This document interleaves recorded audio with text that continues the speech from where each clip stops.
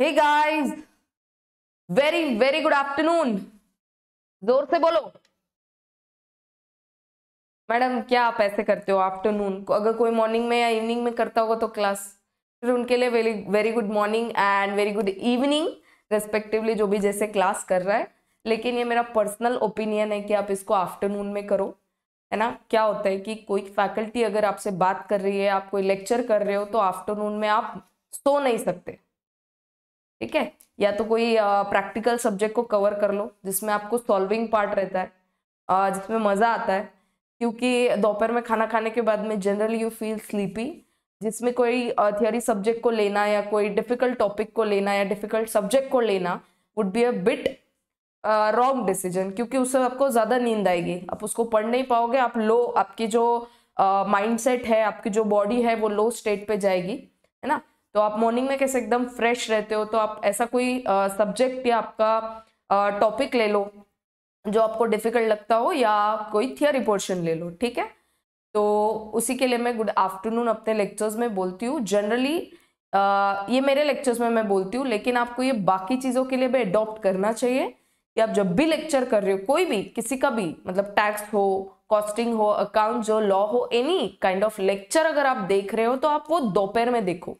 भले वो थियोरी क्यों ना हो क्योंकि जब कोई बात करता है आपको कोई कॉन्सेप्ट समझा रहा है तो आपको वो समझ में आता है है ना? आप किसी को सुन सकते हो देख सकते हो कंटेंट आपको दिखता है लिखते समय है ना? आपका थोड़ा सा इन्वॉल्वमेंट uh, ज़्यादा रहता है into the topic all right चलो coming to this topic 8.6 cash management previously मैंने लेक्चर में ऑलरेडी बोल रखा था कि ये वाले टॉपिक को बहुत ज़्यादा, है ना रेस्पेक्ट दिया नहीं है एग्जामिनेशन के मार्क्स पॉइंट ऑफ़ व्यू तो हम लोग इसमें बहुत ज़्यादा टाइम इन्वॉल्व नहीं करते हुए फास्ट इसको कवर कर लेंगे। टू टाइप्स ऑफ़ इसमें प्रैक्टिकल क्वेश्चन का डिस्कशन है तो उसको भी स्पीड में कर लेंगे और थियोरी को भी फटाफट एक बार गो थ्रू कर लेंगे, ठीक है? वैसे तो आपने ऐसा पढ़ रखा है, मैं ऐसा मानती हूँ। आई होप सो कि आपने ये प्रीवियस लेक्चर में जैसा मैंने कहा था कि पढ़ के रखना तो आपने इसको पढ़ा होगा एक बार। तो आपको ये स्पीड में समझ में आएगा और ऐसा कुछ रॉकेट साइंस है नहीं कैश मैनेजमेंट मतलब क्यों करना होता है? देखो आइडल कैश आपके लिए कुछ कर नहीं पाएगा, है ना? अगर आपके घर में खाली कैश पड़ा है, अगर आपके ड्रॉअर में सिर्फ़ कैश रखा है ऐसा तो वो कैश आपको कुछ देगा क्या एडिशनल ऐसा होगा क्या कि जैसे ना, देखो, अगर आप कोई पेट्स वगैरह घर में रखोगे तो ऐसा मान के हम लोग चल सकते कि हाँ वो एडिशनल हो जाएँगे मतलब क्या? वो पेट का और एक बेबी हो जाएगा। लेकिन पैसों का ऐसा थोड़ी होता कि पैसों के भी बेबीज हो जाएँगे। नहीं ना? तो वो तो ग्रो कब करेंगे? जब आप उसको कहीं इन्वेस्ट करोगे। किसी भी तरीके का इन्वेस्टमेंट चाहे वो एफडी करो, चाहे वो किसी सिक्योरिटीज में आप, है ना, उसको इन्वॉल्व करो, या आपके बिज़नेस में उसको इन्वॉल्व करो। किसी भी चीज़ के थ्रू अगर आप उसमें अगर इन्वॉल्वमेंट दिखाओगे कैश में तो ही कैश बढ़ेगा, नहीं तो कैश नहीं बढ़ने वाला।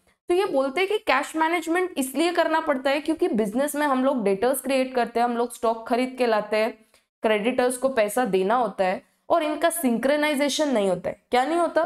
ऐसा होता है कि डेटर्स से तुरंत इधर से पैसा आया, है ना टाइम से पैसा आ जाएगा, फिर हम लोग टाइम से क्रेडिटर्स को पेमेंट कर देंगे। ऐसा सिंक्रोनाइजेशन जनरली नहीं होता है क्योंकि डेटर्स कभी कभी डिले करते हैं पेमेंट करने में। अभी हमने इसके पहले टॉपिक में क्या डिस्कस किया? डेटर्स मैनेजमेंट बराबर? जिसमें अपन ने क्या देखा? अलग अलग अलग क्रेडिट पॉलिसीज़ है जिसमें हम लोग लोगों को आ, है ना पैसा देने के लिए प्रोत्साहन दे रहे हैं कि भाई पैसा दे दो। हम उनको एक वन परसेंट का टू परसेंट का है ना वो अपन ने कॉन्सेप्ट देखा वन बाई टेन है ना net forty five days two by ten net thirty days whatever it is जो अपन ने ये देखे कॉन्सेप्ट ये क्यों है कि डेटर्स हमको टाइमली पेमेंट कर दे सो so दैट हम लोग क्रेडिटर्स को भी टाइमली पेमेंट कर पाए? है ना? बट जनरली ये सिंक्रेनाइजेशन बिज़नेस में होता नहीं है। क्रेडिटर्स कभी मांगने आ जाएँगे तो हमको तो ऐसा होगा कि भाई अगर उनको पेमेंट करना है क्रेडिबिलिटी रखना है, देखो क्रेडिबिलिटी अगर मार्केट में रखेंगे नहीं तो अपने को एक बार, दो बार कोई भी रॉ मटेरियल प्रोवाइड कर देगा। थर्ड टाइम वो पर्सन बोलेगा कि अंटिल एंड अनलेस आप लोग हम लोगों को पेमेंट करोगे, हम लोग आपको रॉ मटेरियल प्रोवाइड ही नहीं करेंगे। अब जब रॉ मटेरियल ही नहीं है तो how do you make the production of your finish है ना, जो आप फिनिश प्रोडक्ट बना रहे हो, उसका प्रोडक्शन कैसे करोगे? तो ये सारी चीज़ों का ध्यान में रखते हुए आपको ये कैश मैनेजमेंट करना है।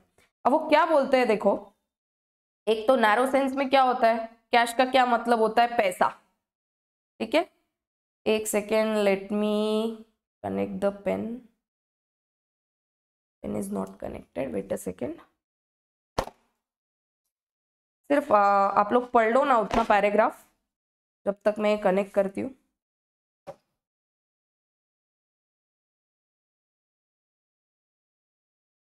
प्लीज़ रीड दैट पैराग्राफ उसमें यही बोला है कि कैश का नैरो सेंस में मीनिंग क्या है? कॉइन्स चेक्स है ना? और ब्रॉडर व्यू में उसमें बोलते हैं कि मार्केटेबल सिक्योरिटीज वगैरह भी आनी चाहिए।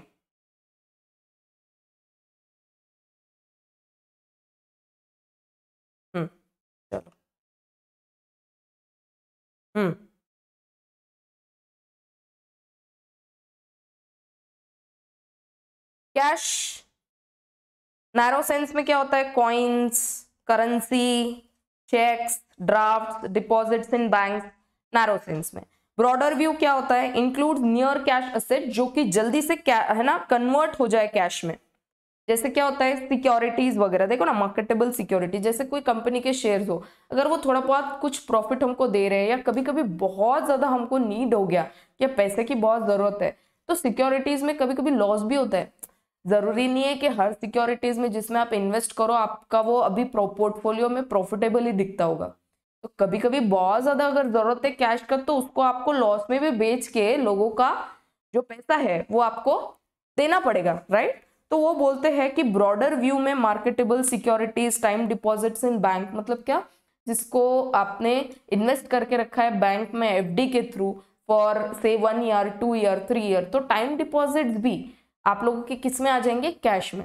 पहली चीज़ तो नैरो में उन्होंने बोला है कॉइन्स करेंसीज चेक जो एकदम फास्ट दो मिनट में कन्वर्ट हो जाएँगे।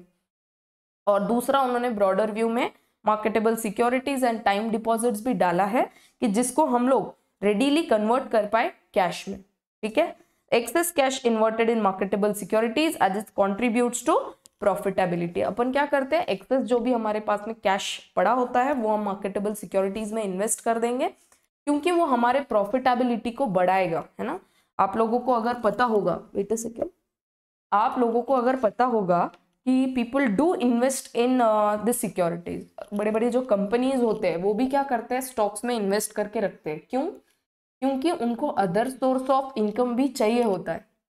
अरे हाँ या ना, देखो बिज़नेस करके कमाना इज़ थिंग लेकिन लोगों के बैलेंस शीट्स में क्या होता है पता है क्या? Investment into securities of other companies जो भी अच्छे पोर्टफोलियोज होते हैं, उसमें वो एक्सेस कैश को इन्वेस्ट करके रखते हैं, जिससे उनका क्या बढ़े? प्रॉफिटेबिलिटी और जब भी उनको कैश का रिक्वायरमेंट होगा तो वो क्या करेंगे?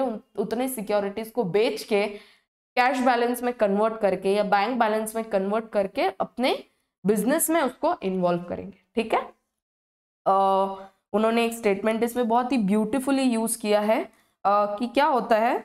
इनएडिक्वेट कैश बैलेंस अगर uh, रहेगा तो प्रोडक्शन में इंटरप्शन होंगे। मतलब क्या अगर कैश की कमतरता हो गई अपने पास में बैंक बैलेंस नहीं है या कैश बैलेंस नहीं है तो अपना प्रोडक्शन रुक जाएगा। अपने प्रोडक्शन में बहुत रुकावटें आएगी। क्यों? क्योंकि रॉ मटेरियल खरीद नहीं पाएँगे।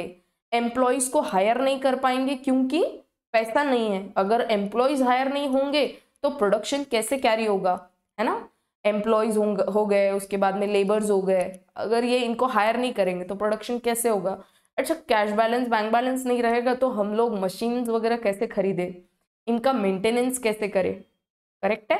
फिर आ, आ, क्या? अगर अपने पास में बहुत ज़्यादा एक्सेसिव कैश भी हो गया अभी तो बात करते हैं इनएडिक्वेट कैश मतलब क्या? कैश की कमतरता होगी तो अपने प्रोडक्शन में इंटरप्शन हो जाएँगे। रॉ मटेरियल में कमतरता एम्प्लॉयज़ नहीं मिलेंगे लेबर्स नहीं मिलेंगे, क्योंकि कैश नहीं देंगे तो वो क्यों आएँगे, है ना? सैलरी तो सैलरी वेजेस उनको देना पड़ेगा। नेक्स्ट है, अगर एक्सेस कैश हो गया तो बहुत ज़्यादा कैश आपके ड्रॉर में पड़ा है तो आइडल कैश भी आपके लिए कुछ करता नहीं है। विजिबल है क्या? Idle cash will impair profitability मतलब क्या? बस पड़ा है वो कैश जितना का उतना। Hence there is a need for cash management cash management assume significance for the following reason अच्छा सिग्निफिकेंस है, फटाफट ये कुछ पॉइंट्स पढ़ लो कैश प्लानिंग क्यों करना होता है कैश प्लानिंग पहली चीज़ तो सबसे इंपॉर्टेंट है कैश और सबसे अनप्रोडक्टिव भी है कैश करंट एसेट्स में. करंट एसेट में ही आता है कैश सबसे इंपॉर्टेंट एलिमेंट भी कैश है, क्योंकि कैश से ही वो साइकिल की है ना, शुरुआत होती है. Cash raw material raw material convert हो जाएगा डब्ल्यू डब्ल्यू कन्वर्ट होगा finish product finish product convert होगा इनटू कैश और डेटर्स और डेटर्स अगेन कन्वर्ट होंगे कैश में. अगेन वापस से वो साइकिल स्टार्ट होगा. मतलब कैश ही वो ट्रिगर पॉइंट है जहाँ से आपका बिज़नेस स्टार्ट होगा. अगर कैश नहीं है तो आप सोचोगे ही नहीं बिज़नेस स्टार्ट करने का. कैश है, तभी आप सोच रहे हो कि बिज़नेस चालू करेंगे. ठीक है? पर सबसे अनप्रोडक्टिव भी कैश ही है। अगर आप कैश को ठप रख दोगे ड्रॉअर में तो कैश आपके लिए कुछ नहीं करने वाला। इसीलिए बोलते हैं कि अगर फर्म्स के ऑब्लिगेशंस को मीट करना है yet idle cash earns nothing ठीक है? Therefore, it is essential to have a sound cash plannings, neither excess nor inadequate inadequate रहा तो प्रोडक्ट है ना? इंटरप्शन होंगे, और अगर ज़्यादा कैश हो गया तो वो अपने लिए कुछ कमाएगा नहीं। ऐसे ही बस पड़ा रहेगा अपने ड्रॉअर में। तो इसीलिए बोलते हैं कैश प्लानिंग होना ज़रूरी है। सिग्निफिकेंस मतलब क्या? इसके आगे आप लिख दो इंपॉर्टेंस इंपॉर्टेंस ठीक है? देखो ये लीस्ट इंपॉर्टेंट टॉपिक है। लेकिन अगर यहाँ से क्वेश्चन आया और आपने पूरे टॉपिक को ही स्किप कर दिया तो माइंड में यू कैन है ना lose four to five marks जैसे कदा अगर सडनली एखादा प्रैक्टिकल क्वेश्चन या थियरी क्वेश्चन आ गया तो क्या करोगे? इसीलिए बस एक बार गो थ्रू कर लो, कुछ भी स्किप नहीं करना चाहिए। अपने को क्या लगता है कभी कभी कि बहुत ही लीस्ट इंपॉर्टेंट है ना, छोड़ के चले जाते हैं। और वही क्वेश्चन आ जाता है। अब समझो आपको पूछ लिया सिग्निफिकेंस ऑफ़ कैश मैनेजमेंट अगर एक बार ही पढ़ रखा है ना तो कुछ तो मैनेज करके लिख पाओगे। और अगर पढ़ा ही नहीं है तो फिर पता नहीं कुछ तो फेंक के आओगे पेपर में। और एग्जामिनर को बहुत अच्छे से समझ में आ जाता है कि ये एकदम प्रैक्टिकली आपने पढ़ के आंसर नहीं लिखा है, ऐसे ही लिख दिया है। तो वो आपको थोड़ा सा भी, ऐसा भी स्पेयर नहीं करेगा कि मैं हाफ़ मार्क भी इनको दे दूँ। भले आपने टू पेजेस क्यों नहीं भरे हो, ठीक है? तो वो पेजेस का काउंट नहीं है यहाँ पे। It is a matter of कि आपने कितना रेलेवेंस लिखा है। हाँ आपको अगर वहाँ से दो पॉइंट भी याद आते हैं अगर ये दो पॉइंट भी आपने लिख दिए तो एग्जामिनर आपको मार्क्स देगा, क्योंकि आपने वो करेक्ट पॉइंट्स लिखे। बट आपने अगर एट पॉइंट्स लिखे हैं जबकि वो आपके सजेस्टेड में, यहाँ पर आंसर में नहीं है तो वो एग्जामिनर आपको मार्क्स देगा ही नहीं। रदर आपका इंप्रेशन इतना गलत पड़ जाएगा वो पेपर पे, है ना, वो एग्जामिनर पे, कि भाई, यहाँ पे अगर इतना ब्लंडर कर रखा है, दो पेजेस का आंसर लिखा है एट पॉइंटर्स लिख रखे हैं, जबकि वो प्रैक्टिकली आपके बुक में है ही नहीं तो आगे के जो क्वेश्चंस होंगे ना, उनमें उनका डाउट बहुत ज़्यादा बढ़ जाता है। जिसमें वो बहुत ज़्यादा एक्टिवली आपके पेपर को एक एक चीज़ को देखना स्टार्ट कर देते हैं। और अगर आपने इस तरीके के क्वेश्चन को लीस्ट इंपॉर्टेंट वाले टॉपिक के क्वेश्चन को अगर मैनेज कर लिया, है ना, ये चार पॉइंट्स ब्यूटीफुली प्रेजेंट कर दिए तो आगे के क्वेश्चंस में maybe he will try to give you a है ना थोड़ा सा लेवरेज कि चलो ठीक है आधा ऊपर नीचे हो सकता है। आप भी तो ह्यूमंस हो, है ना कभी कभी ऐसा होता है कि खुद को बचाने के लिए एक आधा पॉइंट हम बीच में डाल देते हैं एडिशनल जो हमको सूझता है। देखो, ये सारा आपको पता है भला? कैश प्लानिंग ये आपको पता है इंटरनली आपके बॉडी में है कि कैश का मैनेजमेंट जब कैश ही नहीं होगा तो बिज़नेस कैसे होगा? ये आपको पता तो है, लेकिन इसको प्रेजेंट कैसे करना एग्जामिनेशन में ये नहीं पता। उसके लिए ये पढ़ना ज़रूरी है। ठीक है? तो चलो पढ़ो। नेक्स्ट आ जाओ नीचे मैनेजमेंट ऑफ़ कैश फ्लो क्यों करना होता है? क्योंकि आपका ऐसा कभी नहीं होगा कि आपका जो कैश इनफ्लो है और आउटफ्लो है वो मैच हो गया वो सिंक्रनाइज हो गया। कैश इनफ्लोज कभी भी ज़्यादा रहते हैं है ना कंपेयर टू आउटफ्लोज क्यों? इनफ्लो क्यों ज़्यादा होता है? क्योंकि अगर आपने देखा होगा आपके जो आ, सेल आप करते हो तो कैश में कम सेल होता है डेटर ज़्यादा क्रिएट होते हैं। तो जो डेटर्स पेमेंट करेंगे ना आपको वो बल्क में रहेगा। और आपको पेमेंट क्या क्या करना पड़ेगा? देखो इनफ्लो ज़्यादा होता है। आउटफ्लो क्या होगा आपका? मे बी इंटरेस्ट पेमेंट होगा, आपको क्रेडिटर्स को पेमेंट करना होगा, आपको डिविडेंड देना होगा, है ना? ये सारा आउटफ्लो होगा। तो बोलते हैं receipts from debtors cash sales are in huge amounts ये जो डेटर्स वगैरह क्रिएट होते हैं या कैश सेल्स होता है तो ये ह्यूज अमाउंट्स में होता है। और आउटफ्लोज क्या होता है? Payment of taxes interest dividends etcetera hence the cash flow should be managed for better cash management ठीक है? Okay uh. और कभी कभी क्या होता है, वो देखो, आगे बोलते हैं ना वो at other times cash outflows exceed cash inflows due to payment of taxes interest dividend upon normally तो देखो क्रेडिटर्स वगैरह को पेमेंट करते हैं बट कभी कभी इनको भी पेमेंट करना पड़ता है। टैक्सेस तो भरने ही है अपने को। गवर्नमेंट बोलेगा ना, आपको प्रॉफिट हुआ, हमको भी चाहिए। टैक्सेस भरने हैं, अगर आपने लोन वगैरह लिया है तो इंटरेस्ट भरना है। आपके अगर शेयर्स वगैरह में आप है ना शेयर्स वगैरह आपने निकाले लोगों को सब्सक्राइब करने के लिए तो अगर लोग आपसे कुछ चाहते हैं फिर कि आप हमको भी रिटर्न दो तो रिटर्न के फॉर्म में आपको डिविडेंड वगैरह भी बांटना पड़ेगा तो ये आपके आउटफ्लो में इन्वॉल्व हो गया। तो अगर कभी आउटफ्लो ज़्यादा हो गया इनफ्लो से तो फिर तो आप निगेटिव में चले गए ना निगेटिव कैश बैलेंस हो गया। वो मैनेज करने के लिए आपको आ, है ना बेटर कैश मैनेजमेंट करने के लिए आ, ज़रूरी है कि कैश प्लानिंग करो है ना? कैश मैनेजमेंट करो। नेक्स्ट है मेंटेनिंग ऑप्टिमम कैश बैलेंस ये तो अपन ने पहले भी पढ़ा कि अगर कैश बैलेंस कम हो गया तो आपके इंटरप्शन होंगे प्रोडक्शन में, ज़्यादा हो गया तो it will earn nothing for you तो इसीलिए बोलते हैं कि ऑप्टिमम कैश बैलेंस मेंटेन करो। पढ़ लो क्या बोलते हैं यहाँ पर? Management should also consider the factor determining influencing the cash balances at various point of time cost of excess and danger of inadequate cash should be matched to determine the optimum level of cash balances. ठीक है? Access अगर आपके पास में cash हो गया तो वो आपका अपॉर्चुनिटी कॉस्ट हो रहा है। मतलब आपको एक अपॉर्चुनिटी मिल रही थी कि आप इन्वेस्ट करके कुछ कमा लो, लेकिन आप वो नहीं कमा पा रहे हो तो बोलते cost of excess and danger of inadequate cash should be matched inadequate cash हो गया तो क्या आपका इंटरप्शन हो जाएगा प्रोडक्शन रुक जाएगा, आपका मोस्ट प्रॉफिटेबल जो वेंचर चल रहा था वो रुक जाएगा। ये तो डेंजर हो गया। ये मेंटेन करने के लिए, है ना? ये मैच करने के लिए आपको ऑप्टिमम कैश बैलेंस मेंटेन करना ज़रूरी है। Investment of excess cash or idle funds तो वैसे भी कुछ करते नहीं है। तो आपको ये मैनेज करना पड़ेगा कि जो एक्सेस कैश है जो आइडल फंड्स आपके ड्रॉर में पड़े, आप उसको कैसे यूज़ करते हो? मे बी आप उसका एफडी बना दो या उसको मार्केटेबल सिक्योरिटीज में लगा दो। देखो, ये तो रिस्क इन्वॉल्व है इधर, लेकिन क्या करें? अगर बिज़नेस करना है, प्रॉफिटेबल बनाना है बिज़नेस को तो आपको अलग अलग अलग चीज़ें सीखनी पड़ेगी जहाँ से आप और भी सोर्सेस से इनकम कमा पाओ। ठीक है? One of the most aspects of management of cash Thus, the aim of cash management to maintain adequate cash balance at one hand and to use excess cash in some profitable way on the other hand ठीक है? Adequate cash balance भी maintain करना है कि cash balance कभी कम ना पड़े कि भाई हमारा प्रोडक्शन ही रुक जाए या फिर एक्सेस भी ना हो कि कोई प्रॉफिटेबल वेंचर हमारे हाथ से छूट जाए या कोई प्रॉफिटेबल चीज़ हमारे हाथ से छूट जाए। ठीक है? मोटिव्स क्या है? कैश बैलेंस होल्ड करने का मोटिव क्या है? रेगुलर ट्रांजैक्शंस कैरी करने के लिए कि समझो कोई प्रिंटिंग स्टेशनरी आपको पेमेंट करना है और आपके पास में कैश बैलेंस नहीं है मेंटेन तो क्या करोगे?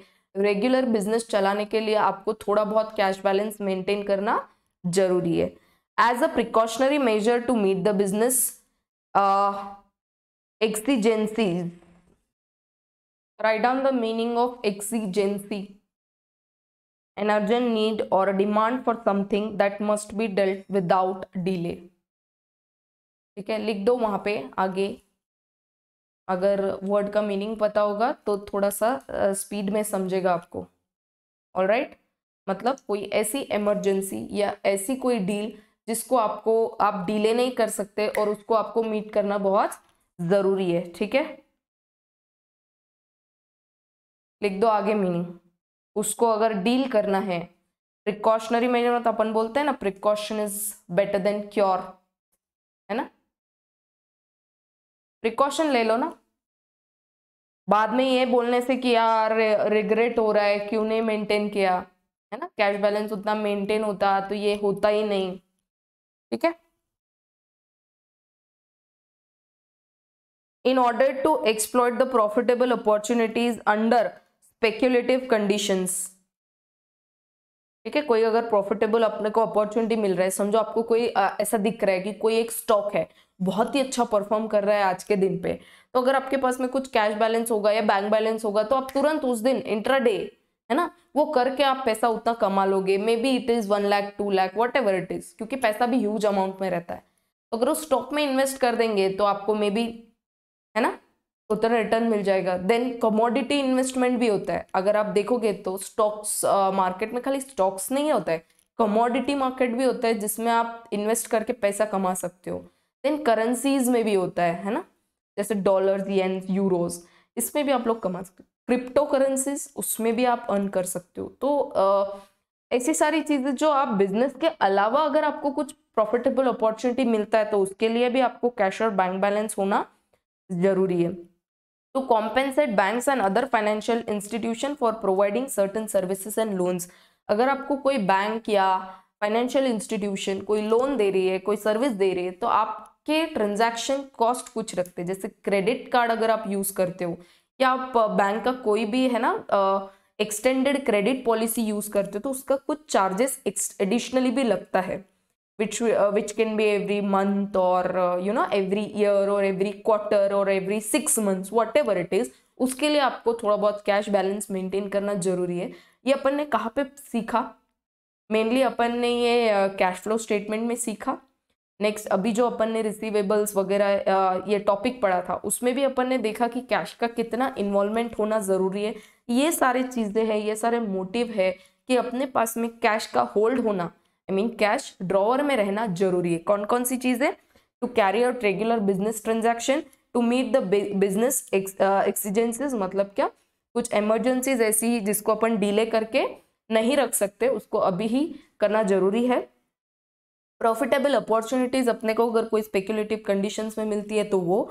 और दूसरा बैंक वगैरह को कॉम्पेंसेट करने के लिए या अदर फाइनेंशियल इंस्टीट्यूशन को कॉम्पेंसेट करने के लिए जिसके लिए वो अपने को मतलब जो सर्विसेस या लोन्स अपने को वो दे रहे हैं, उसके लिए जो भी चार्जेस लग रहे हैं, उसको अपने को मीट करना है तो उसके लिए कैश बैलेंस होना ज़रूरी है।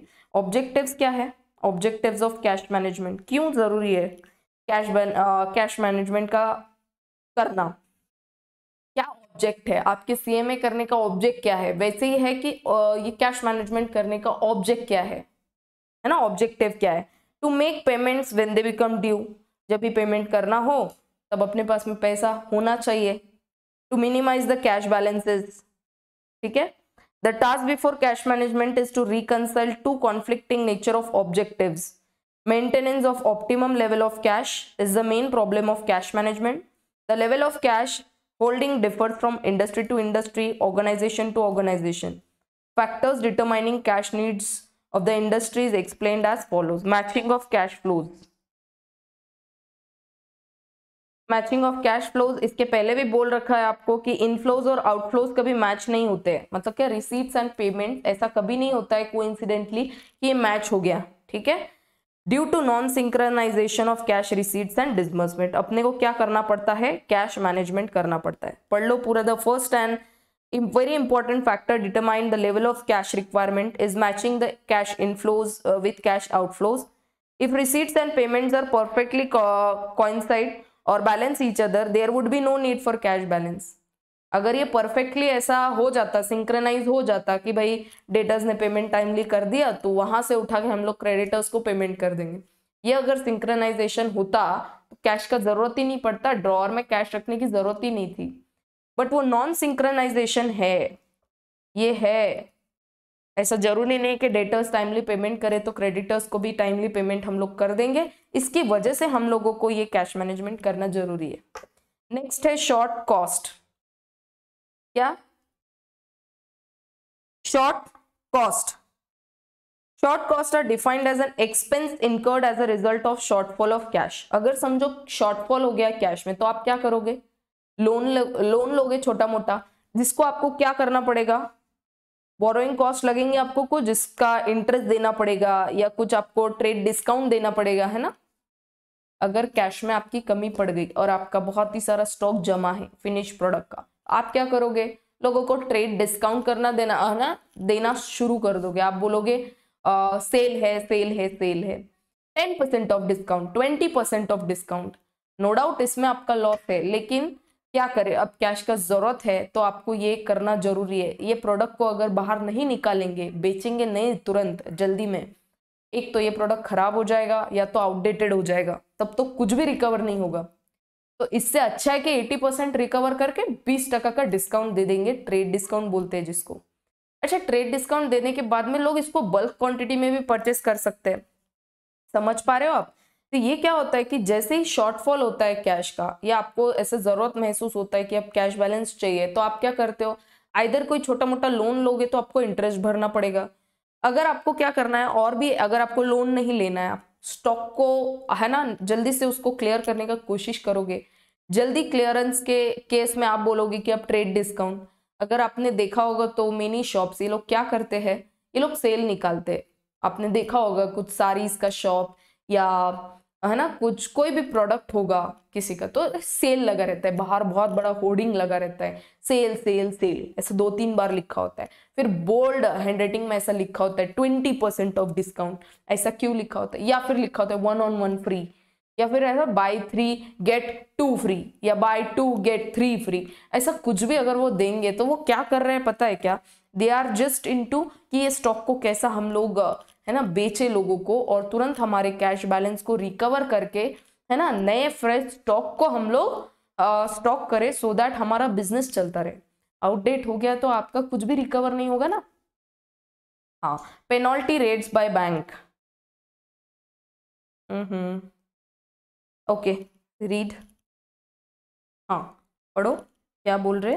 Penalty rates by bank to meet a shortfall in cash balance associated cost with deterioration of firm's credit rating अगर क्या होता है कभी कभी हम लोग जो बैंक से लोन लिया है, उनको डिले कर देते हैं रीपेमेंट में तो वो हम लोगों को पेनल्टी चार्ज कर देते हैं। क्यों? क्योंकि उन्होंने एक्सेस क्रेडिट फैसिलिटी हमको दी है और हम लोगों ने उनको डिले कर दिया रीपेमेंट में तो वो लोग हम लोगों को पेनल्टी चार्ज कर देंगे और विच अगेन है ना is reflected in higher bank charges on loans and decline in sales and profits ये हमारा क्रेडिट रेटिंग भी कम करता है।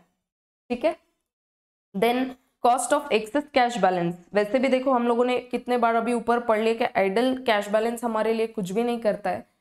वो सिर्फ़ पड़ा है और अपने को क्या होता है? बाद में रिग्रेट होता है। देखो, अपने जगह पे अपन ने क्या किया? अपने ड्रॉर में कैश रखा है। और कोई और पर्सन अपने साइड में जो कोई अड़ोसी पड़ोसी होगा, उसने क्या किया? किसी अच्छे छोटे से बिज़नेस में अपना पैसा लगा दिया और अच्छा खासा रिटर्न कमा लिया।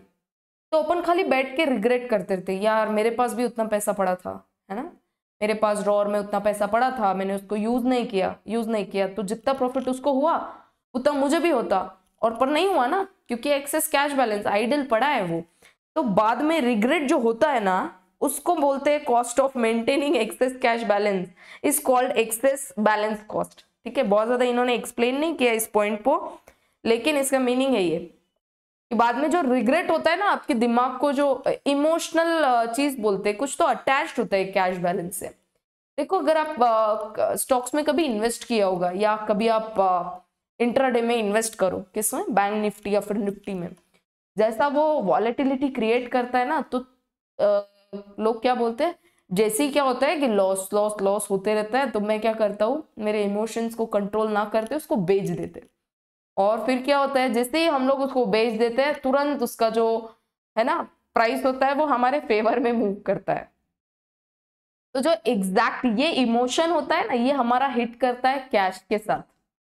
जैसे ही अपने को पता चलता है कोई प्रॉफिटेबल चीज़ को हम लोगों ने फॉरगो कर दिया तो हमारे माइंड एंड बॉडी को बहुत ज़्यादा इमोशनलिटी फील होने लगती है, अंदर से गुस्सा आने लगता है कि यार, इस कैश को यहाँ क्यों नहीं इन्वेस्ट किया? इन्वेस्ट कर देते तो प्रॉफिट हो जाता, है ना?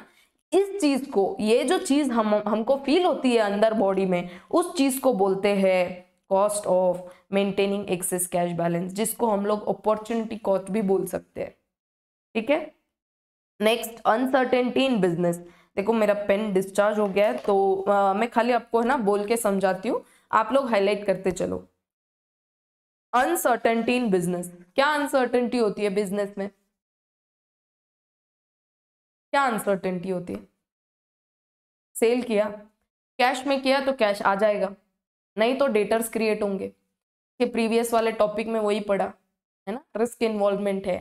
अपना कॉस्ट ब्लॉक हो गया वेरिएबल और फिक्स्ड कॉस्ट में। सेल करके तो कुछ रिकवर अभी तुरंत नहीं हो रहा है। Maybe thirty forty days बाद रिकवरी होगा। उसके बाद बैड डेट तो अभी क्रिएट हो सकता है। है ना? अपने को उसका प्रोविज़न क्रिएट करके चलना पड़ेगा। ऐसा पॉसिबिलिटी पूरा पूरा है कि सौ लोगों को अगर बेचेंगे तो उसमें से पाँच लोग तो ऐसे निकलेंगे या दो तीन लोग तो ऐसे निकलेंगे जो टर्न अप नहीं होंगे और हमारा बैड डेट हो जाएगा। और क्या बोला है कि जितने टाइम पीरियड के लिए हमारा जो पैसा है जिसमें ब्लॉक हो गया रिसीवेबल्स में थर्टी फोर्टी जितने दिन के लिए भी तो उतने दिन का हम लोगों ने अपॉर्चुनिटी कॉस्ट मिस कर दिया। करेक्ट है? ये सारी चीज़ें अपन ने कहाँ पढ़ी? रिसीवेबल्स में, है ना? थोड़े टाइम पहले। तो क्या होता है दूसरी चीज़ और आपने रॉ मटेरियल में इन्वेस्ट कर दिया, आपके फिनिश प्रोडक्ट बन चुके हैं। अब वो आपने मार्केटिंग पे भी इतना हेवी खर्चा कर रखा है, लेकिन प्रोडक्ट बिक नहीं रहा है। ये क्या है? सारी अनसर्टिनिटीज है इनटू बिज़नेस कि डेटर्स डेटर्स का क्रिएट होना, उनका पेमेंट कब रिसीव होगा, वो देंगे कि नहीं देंगे, ये क्या है आपका रिस्क है? दूसरा, आपने इतना पैसा लगाया रॉ मटेरियल पी फिनिश प्रोडक्ट क्रिएट किया, लेकिन वो प्रोडक्ट बिका नहीं तो ये सारा आपका रिस्क है। ये क्या है? इसको अनसर्टेनिटी बोलते हैं। अब इस अनसर्टेनिटी को और जो अपने डिस्पर्समेंट्स है, जो क्रेडिटर्स है, वो भी आके तो खड़े हो जाएँगे ना। देखो, वो वो क्या बोलेंगे कि हमने आपको रॉ मटेरियल बेचा, है ना? अब वो आपका ज़िम्मेदारी, आप बिज़नेस कैसा करते हो? हमको तो पेमेंट चाहिए। ये सारी चीज़ें तो देखो, क्या बोलते हैं? The first requirement of cash management is precautionary question to cope with the irregularities in cash flows unexpected delays in collection finish product को बेच के कलेक्शन करना। एक आधा डिले वहाँ भी हो सकता है। दूसरा डेटर्स जो क्रिएट हुए, उनसे पेमेंट रिसीट में डिले हो सकता है। एंड डिस्पर्समेंट्स एंड डिफ़ॉल्ट मतलब क्या? डिस्पर्समेंट मतलब अपना पैसा, अपना जाना। क्रेडिटर्स तो आके खड़े हो जाएँगे ना, सिर पे, हमको पैसा दो। अब वो जल्दी भी आ सकते हैं। मे बी उनको आ, उन्होंने अपने को टाइम पीरियड अलॉट किया है ट्वेंटी डेज़ का लेकिन अगर वो नाइनटीन या एटीन डे आ गए और अपने पास कैश बैलेंस नहीं है तो ये अनसर्टनटी है। डिफ़ॉल्ट मतलब क्या? बैड डेट हो सकता है। कोई अपने को अगर पैसा ना भी देगा तो वो थोड़ी बोलेगा कि आप रहने दो पैसे मत दो आपके डिटर ने नहीं दिया तो। उनको तो अपने को पेमेंट करना है। तो the uncertainty can be overcome through upon uncertainty को ओवरकम कैसे कर सकते हैं? To accurate forecasting of tax payments dividend capital structure इसका सारा डिज़ाइन करके। इसी के लिए अपन ने वो टॉपिक पढ़ा कौन सा? क्रेडिट पॉलिसी वाला। कि हम लोग कौन से पॉलिसी को अडॉप्ट करें सो so दैट हमको मैक्सिमम uh, बेनिफिट हो है ना? रिस्क इन्वॉल्व रिस्क लेके अपने को बेनिफिट भी हो। ठीक है? तो वो अपन ने क्या कर रखा है उसको? मे बी जिसको एक्यूरेट नहीं बोल सकते, लेकिन एक्यूरेट प्रडिक्शन बोल सकते हैं। या फिर एक्यूरेट प्रडिक्शन प्रडिक्शन होगा तो एक्यूरेट कैसा होगा? मे बी उसको बोल सकते हैं कि भाई नियर अबाउट एक्यूरेट प्रडिक्शन है वो। कि ऐसा ऐसा होगा, इतने इतने दिन का क्रेडिट पॉलिसी देंगे, इतना इतना बैड डेट होगा, ऐसा ऐसा अपॉर्चुनिटी कॉस्ट होगा, पर इतना हमको एक्सपेक्टेड प्रॉफिट है नेट बेनिफिट है तो इसको हम लोग एक्सेप्ट करेंगे। इसके, इससे क्या होगा? ये क्रेडिट पॉलिसी हो गया स्टॉक का जो हम लोगों ने पैसा इन्वेस्ट कर रखा है, वो स्टॉक से पैसा कब रिकवरी हो जाएगा? Fund flow cash flow statement से पता चलेगा कि हम लोगों का बिज़नेस प्रॉफिटेबल है। ठीक है?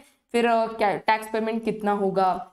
हम लोग को डिविडेंड कितना देना है? कैपिटल का स्ट्रक्चर कैसा होगा? डिबेंचर इक्विटी वगैरह कितना मेंटेन करना है?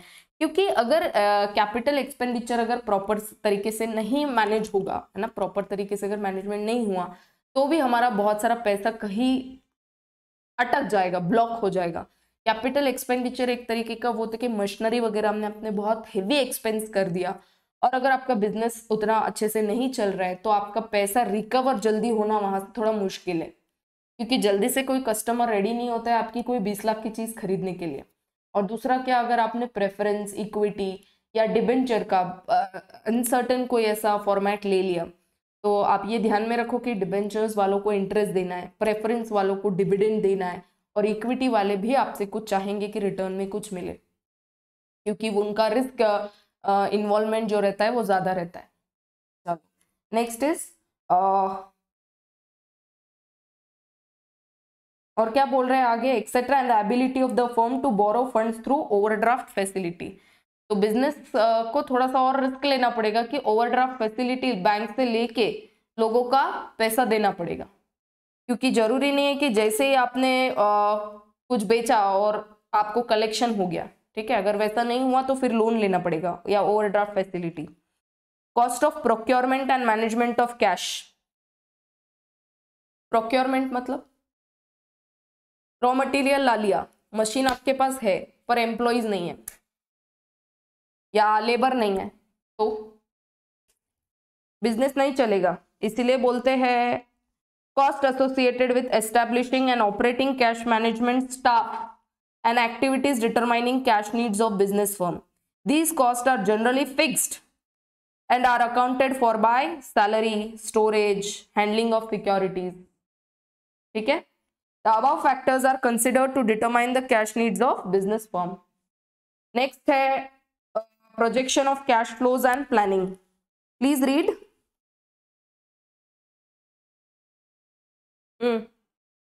Projection of cash flows and planning projection मतलब बजट कैश बजट जिसको क्या करना है? Plan and control of use of cash अपने को एस्टिमेशन बनाना है। कैश इनफ्लोज कितना हो सकता है? आउटफ्लो कितना हो सकता है? ओवर द फॉर्म प्लानिंग मतलब फॉर अ पर्टिकुलर पीरियड तो एक साल का अगर अपने पास में है तो वो नेक्स्ट टू थ्री इयर्स का अपन प्रोजेक्शन टाइप बनाएँगे। ठीक है? प्रोजेक्शन मतलब एस्टिमेशन कि कितना कैश इनफ्लो हो सकता है, कितना आउटफ्लो हो सकता है अपने पास में कितना कैश बैलेंस मेंटेन हो सकता है। In other words net cash position that is surplus और deficiency of a firm is highlighted by the cash budget from one budgeting period to another budgeting period ठीक है? नेक्स्ट है determination of optimum level of cash holding by the company दो तीन अपने पास में उन्होंने formula wise अपने को सॉल्व करने को दिए जिसमें से ये दोनों पे क्वेश्चन पूछा है। कौन सा? इन्वेंट्री मॉडल आपने अगर मटेरियल में पढ़ा होगा ई ओ क्यू है ना? देखो, उन्होंने बोला है economic order quantity to cash management ठीक है? और दूसरा एक है स्टोकैस्टिक मॉडल तो ये दोनों पे उन्होंने क्वेश्चंस पूछे हैं। और ये क्या है? प्रोबेबिलिटी मॉडल प्रोबेबिलिटी वर्ड से ही क्या पता चलता है? प्रोबेबल अपन क्या बोलते हैं? प्रोबेबिलिटी है कि ऐसा हो जाएगा। तो आ, इसका अपने को कुछ पता ही नहीं है। मतलब क्या कब पैसा आएगा कब पैसा जाएगा।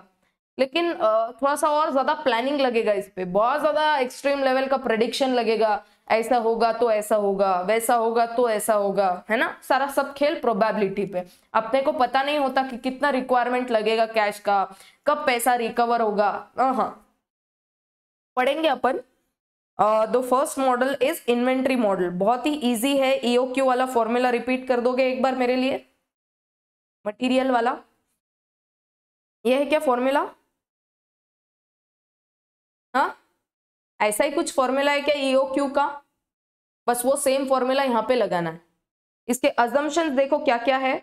अगर आप यहाँ पर देखोगे तो है क्या A means what total amount of transaction demand material का याद करो या बुक खोल लो वहाँ का।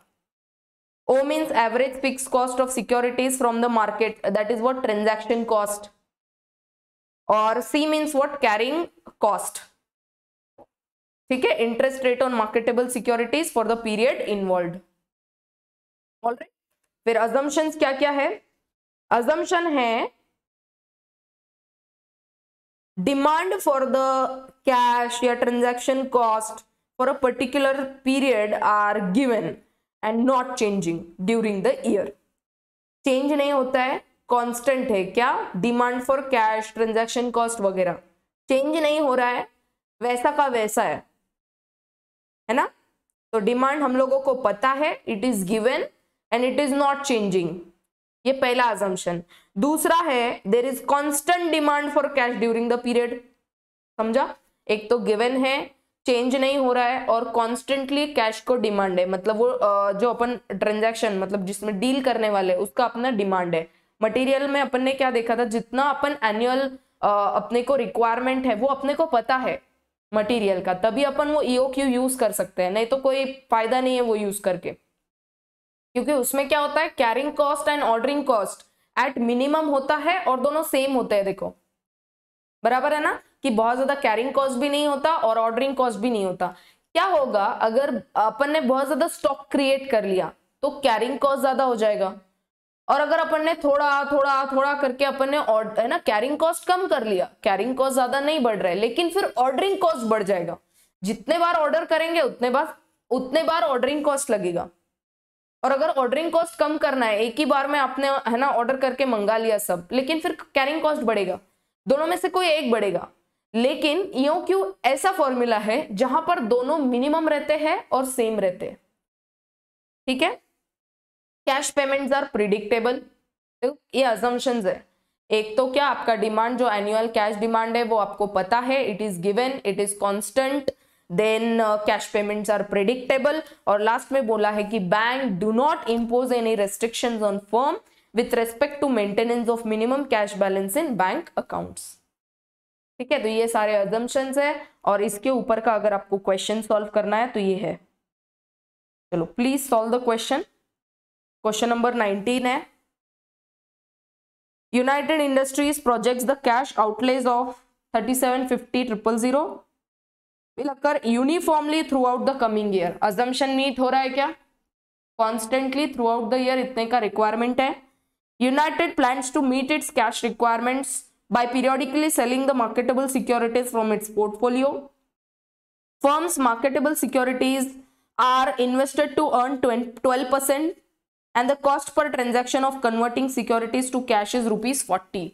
अगर मार्केट सिक्योरिटीज को अपन कन्वर्ट कर देंगे तो हर ट्रांजैक्शन को कन्वर्ट करने का कॉस्ट है फोर्टी रुपीज़ तो फॉर्मूला में सारा नंबर्स डाल दो two A O divided by C और कैरिंग कॉस्ट अपने को लेना है ट्वेल्व परसेंट ठीक है please solve the question use Baumol model to determine the optimum transaction size of marketable securities to cash can you please do this चलो start करो फिर सॉल्व करना।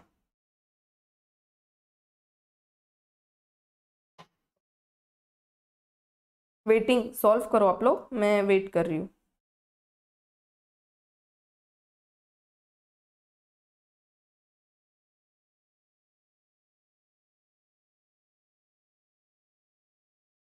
लेट्स सॉल्व ब्रैकेट में two A O upon C actually ये material का formula है। अगर आपको लिखना होगा तो यहाँ पे आप थोड़ा सा चेंज कर सकते हो। That is two T A upon I तो T means transaction cost A means annual demand and I means interest ये क्या है? ये मटेरियल का फॉर्मूला है। सेम जो उन्होंने ऊपर दिया है। पर आप लोग यहाँ पर मनी मैनेजमेंट हम लोग कर रहे हैं। दैट इज़ कैश मैनेजमेंट बोल रहे हैं। तो आप ये लिख दो। ठीक है? T means transaction cost and I means interest interest rate तो ऑटोमेटिकली अपना कितना बन जाएगा? टू इंटू ट्रांजेक्शन कॉस्ट कितना बोला है? पर transaction cost is forty which is given और एनुअल डिमांड उन्होंने कितना बोला है? विच इज़ यूनिफॉर्म है ना? कांस्टेंट है वो इतना है। अपॉन इंटरेस्ट रेट कितना है? ट्वेल्व परसेंट जिसको अपन पॉइंट वन टू लिखेंगे राइट right? इसको आप सॉल्व करो please do solve this mathematically इतना तो सॉल्व करोगे ना? चलो कर दो फटाफट सॉल्व। कितना आया आंसर? Fifty thousand. एक चीज़ मैं आपको दिखाऊँगी। वेट अ सेकेंड आपका जो नया मैट है फाइनेंशियल मैनेजमेंट का देखो मैं उसको खोल रही हूँ। आपके मैट में थोड़े बहुत मिस्टेक्स uh, भी हुए हैं जिसको कंसिडर करना ज़रूरी है। Wait a second it is loading जिसमें फॉर्मूला को थोड़ा सा मिस्टेक कर दिया। टू टी ए है ना, उसको वन टी ए ऐसा कुछ कर दिया। तो two into forty into thirty seven five zero triple zero के जगह पे उन्होंने कर दिया। One into forty into thirty seven five zero triple zero two के बदले वन ले लिया। ठीक है ओपन होगा, तब मैं आपको बताऊँगी। तब तक के लिए अपन सॉल्व करेंगे यहाँ पर। नेक्स्ट चीज़, अपने को क्या निकालना है? फ़र्स्ट उन्होंने पूछा है use Baumol model to determine optimum transaction size of marketable securities to cash तो कितना साइज़ निकला है अपना? पचास हज़ार। Optimum size E O Q economic order quantity उसी को क्या बोला है यहाँ पर? ऑप्टिमम ट्रांजैक्शन साइज़ कितना है? पचास हज़ार। नेक्स्ट क्वेश्चन पूछा है what will be company's average cash balance average cash balance मतलब क्या? देर फोर फ़र्स्ट आंसर ये सेकेंड का आंसर अगर आप देखोगे तो एवरेज मतलब क्या? डिवाइडेड बाई टू कर देना। और इसको आप ऐसे भी लिख सकते हो fifty thousand into one by two on an average पच्चीस हज़ार। थोड़ा सा मटेरियल को याद करो, अपन क्या बोलते हैं? थ्रू आउट द ईयर अपना इतना ईओ क्यू है, लेकिन ऑन एन एवरेज अपना कितना, क्या है ना मटेरियल होता है या बैलेंस कितना मेंटेन होता है। तो यहाँ पर कैश का एवरेज कैश बैलेंस कितना है? पच्चीस हज़ार। जब अपन वो आ, कौन सा बैलेंस निकालेंगे? कैरिंग कॉस्ट कैरिंग कॉस्ट जब निकालते हैं तो अपन पचास हज़ार पे नहीं निकालते ईओ क्यू कितना बना है अपना? पचास हज़ार। अगर मटेरियल का भी बात करेंगे तो अपन क्या बोलते हैं? ईओ क्यू इतना इतना नंबर ऑफ़ यूनिट्स है। लेकिन उतने नंबर ऑफ़ यूनिट्स का पूरे पे कैरिंग कॉस्ट निकालते क्या? नहीं। ऑन एन एवरेज पे निकालते याद आ रहा होगा तो। नहीं आ रहा होगा तो कांट हेल्प इट आप उतना पोर्शन वहाँ पे जाके देख लो। ठीक है? कैरिंग कॉस्ट या फिर ऑर्डरिंग कॉस्ट की बात है और दोनों चीज़ें यहाँ पर सेम होती है ऑर्डरिंग कॉस्ट मिनिमम भी होती है और सेम भी होती है, जिसको अपन ऑप्टिमम बोलते हैं। कैरिंग कॉस्ट निकालो, कितना कैरिंग कॉस्ट लगेगा? अगर आप पचास हज़ार का कैश बैलेंस मेंटेन कर रहे हो तो पचास हज़ार का ऑन एन एवरेज मतलब वन बाई टू और कैरिंग कॉस्ट कितना बोला है उन्होंने? ट्वेल्व परसेंट निकालो, कितना बनेगा? पच्चीस हज़ार का बारह टक्का। कितना बन गया? तीन हज़ार। All right ordering cost ordering cost के लिए पहले निकालना पड़ेगा number of orders number of orders into ordering cost अपने को नंबर ऑफ़ ऑर्डर्स अभी पता नहीं है. ऑर्डरिंग कॉस्ट कितना है पर ऑर्डर फोर्टी आप ये कैसे निकालोगे? नंबर ऑफ़ ऑर्डर्स पचास हज़ार अपना यो क्यों निकला है? यो क्यों कितना निकला है? पचास हज़ार. एनुअल डिमांड कितना है? Thirty seven five zero triple zero therefore अपने एनुअल रिक्वायरमेंट है thirty seven five zero triple zero अपन हर बार मेंटेन कितना करने वाले हैं? बैलेंस फिफ्टी थाउज़ेंड तो कितने नंबर ऑफ़ ऑर्डर्स रहेंगे? नंबर ऑफ़ ऑर्डर्स निकाल दो। Thirty seven five zero triple zero divided by पचास हज़ार. Seventy five orders. समझा? कैसे निकाला?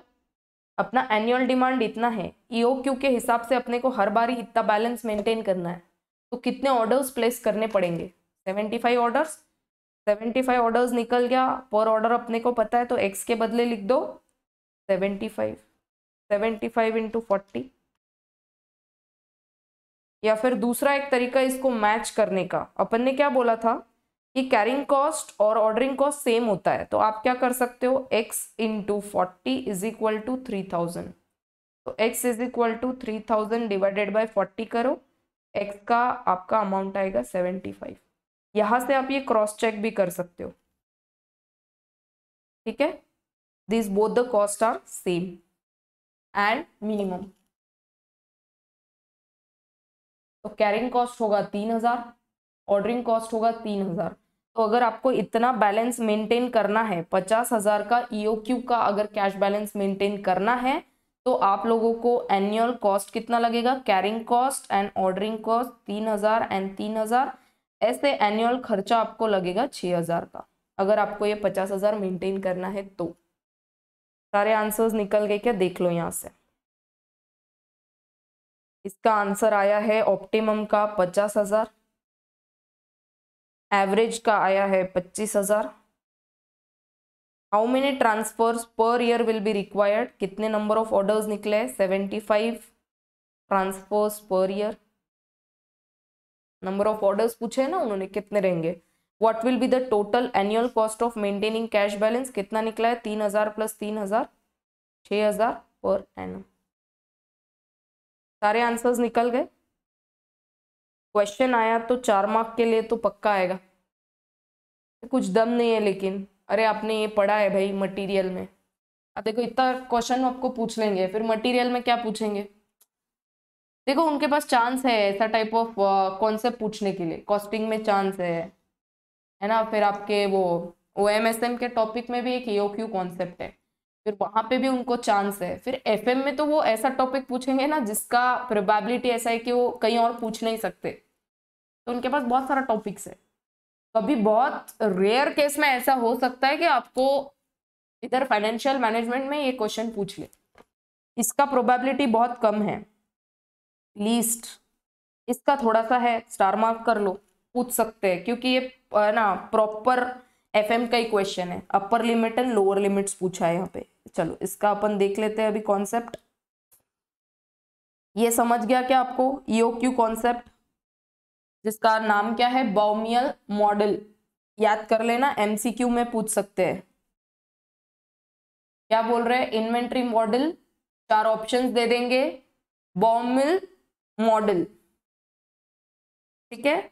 अजम्पन्स ये एक आधी बार थियोरी में ऐसा पूछ लिया तो मैनेज कर लेना to write the answer next है अपना स्टोकैस्टिक जिसका मॉडल का नाम क्या है? मिलर और मॉडल क्या नाम है? Miller Orr model repeat once again Miller Orr model MCQ में पूछ सकते हैं अगेन फॉर्मूला है? पहले तो अपन देख लेते हैं अपना वो खुल गया क्या? It's not opening. Why? Not open बोल रहे हैं। Wait a second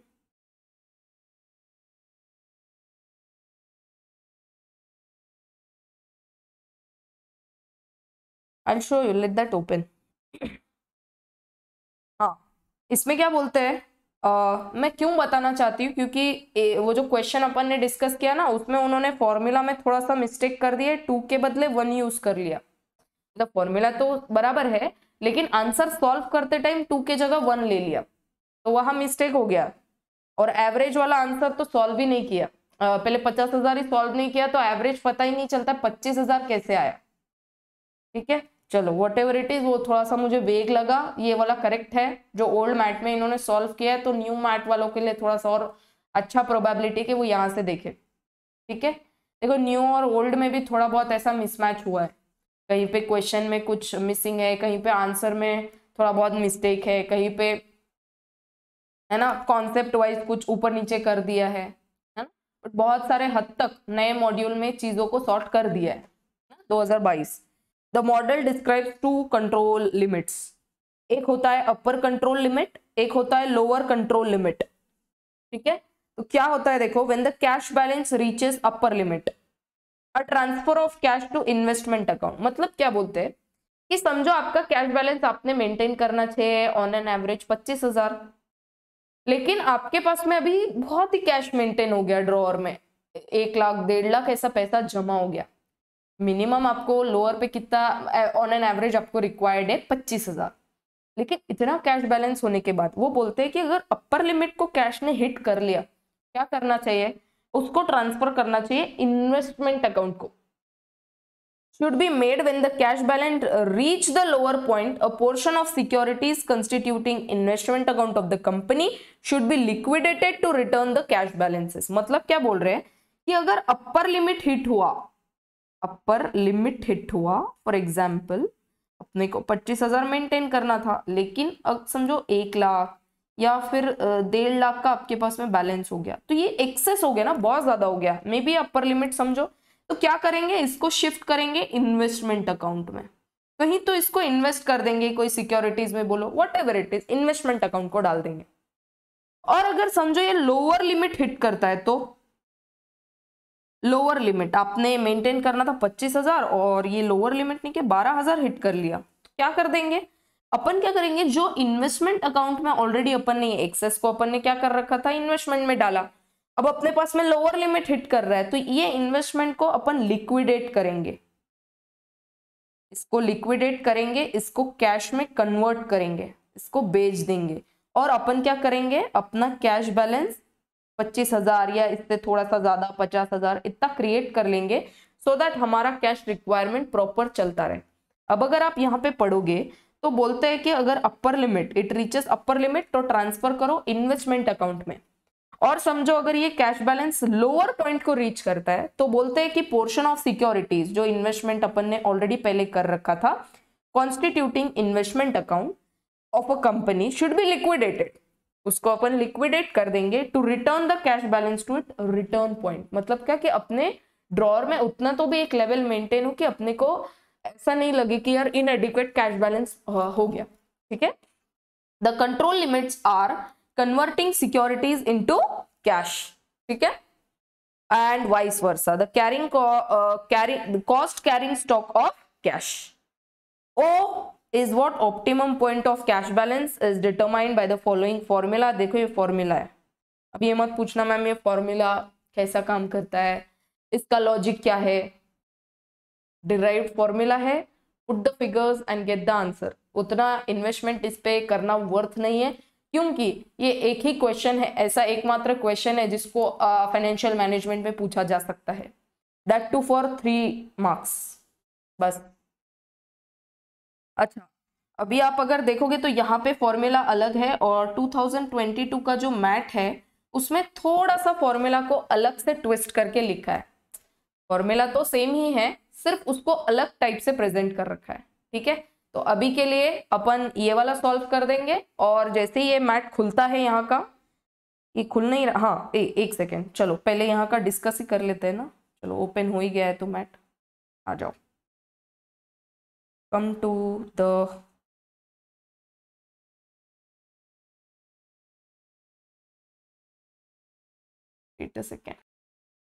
हाँ यहाँ पे देखो फॉर्मूला को ऐसा प्रेजेंट किया है। Three by four into C sigma square divided by K whole bracket को क्लोज करके raise to the power one by three और ओल्ड मैट में फॉर्मूला को अलग प्रेजेंट किया है बट दोनों ही फॉर्मूला सेम है। दोनों से भी आंसर सॉल्व कर लेंगे ठीक है? आपको फिर जो बेटर लगे आप उसको अडॉप्ट करना।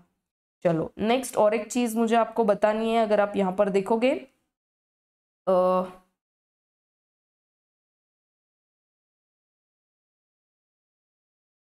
Mm,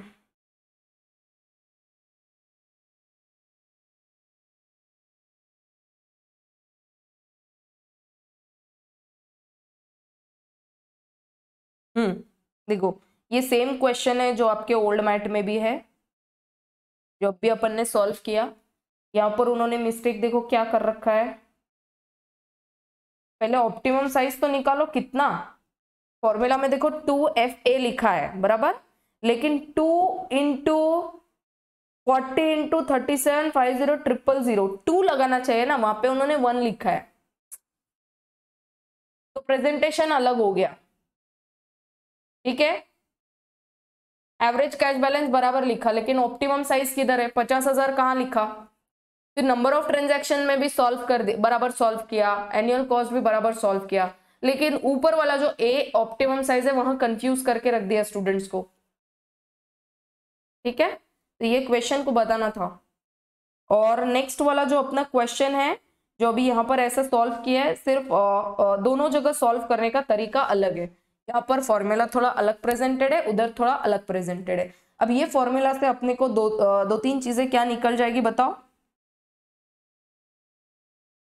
अपने को निकल जाएगा यहाँ से आ, ये देखो अपर कंट्रोल लिमिट ये अगर आप डायग्रामेटिकली देखोगे तो यहाँ पर देखो ये कैश बैलेंस देखो कैसा जा रहा है। ये यहाँ पर है ना इतना तो मिनिमम रिटर्न पॉइंट है इतना तो मेंटेन होना ही चाहिए।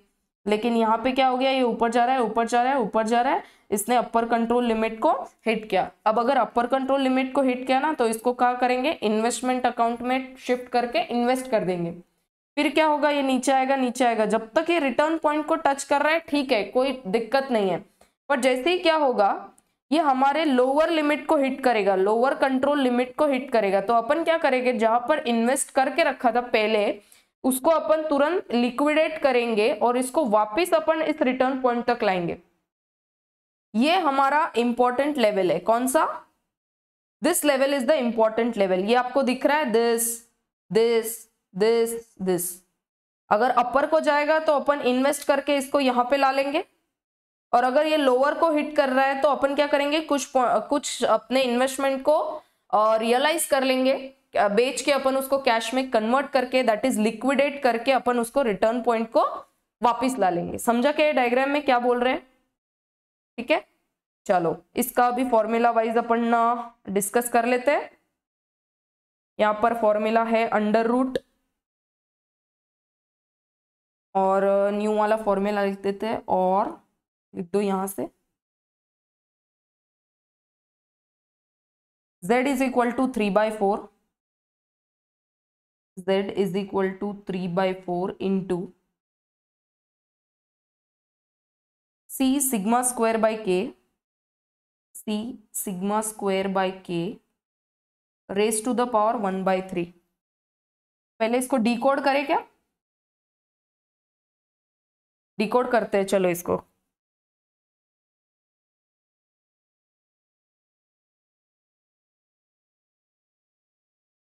क्वेश्चन ये वाला है। क्या बोल रहे हैं? The Cyber Globe company has experienced stochastic demand for its product with the result that cash balances fluctuate randomly मतलब क्या है, कभी एकदम से कैश बैलेंस ऊपर अपर लेवल को हिट कर देगा तो अपने को उसको इन्वेस्टमेंट करके रिटर्न पॉइंट पे लाना। कभी लोअर को हिट करेगा तो अपने को लिक्विडेट करके रिटर्न पॉइंट को लाना पड़ेगा। अगेन कभी अपर लिमिट को हिट करेगा। लाइकवाइज अपने को ये साइकिल चलाना है। तो इसको बोलते हैं स्टोकैस्टिक डिमांड जिसका क्या है? रैंडमली कभी भी फ्लक्चुएट होता है। The standard deviation of daily net cash flows is standard deviation कितना है? एक हज़ार। Company wants to impose upper and lower bound control limits for conversion of cash into marketable securities and vice versa मतलब क्या? Cash को कभी आपको invest करना पड़ेगा या फिर इन्वेस्टेड को कभी कैश को लाना, है ना कन्वर्ट करना पड़ेगा लिक्विडेट करना पड़ेगा, क्योंकि रिटर्न पॉइंट पे आना है। The current interest rate on marketable securities is six percent the fixed cost associated which with each transfer is one thousand and minimum cash balance to be maintained is ten thousand calculate upper and lower limits formula में put करो सारे numbers को और answer निकालो। Please do it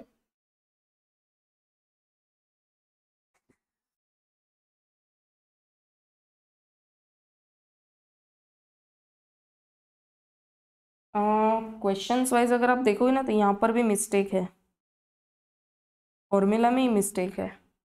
यहाँ पर three डालो। Three by four है ना? यहाँ पे टू दे दिया। करो उसको। टू को फोर थ्री करो। कर दिया?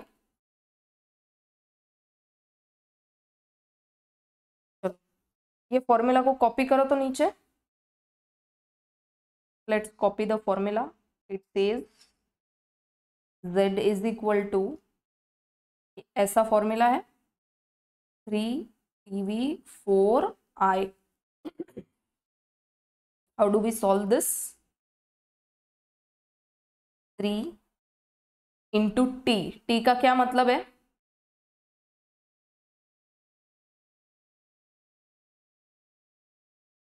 टी का मीनिंग लिखो।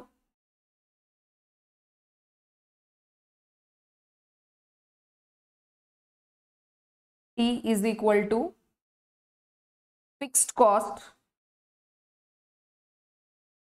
associated with transaction cost और वी का क्या मतलब है? Variance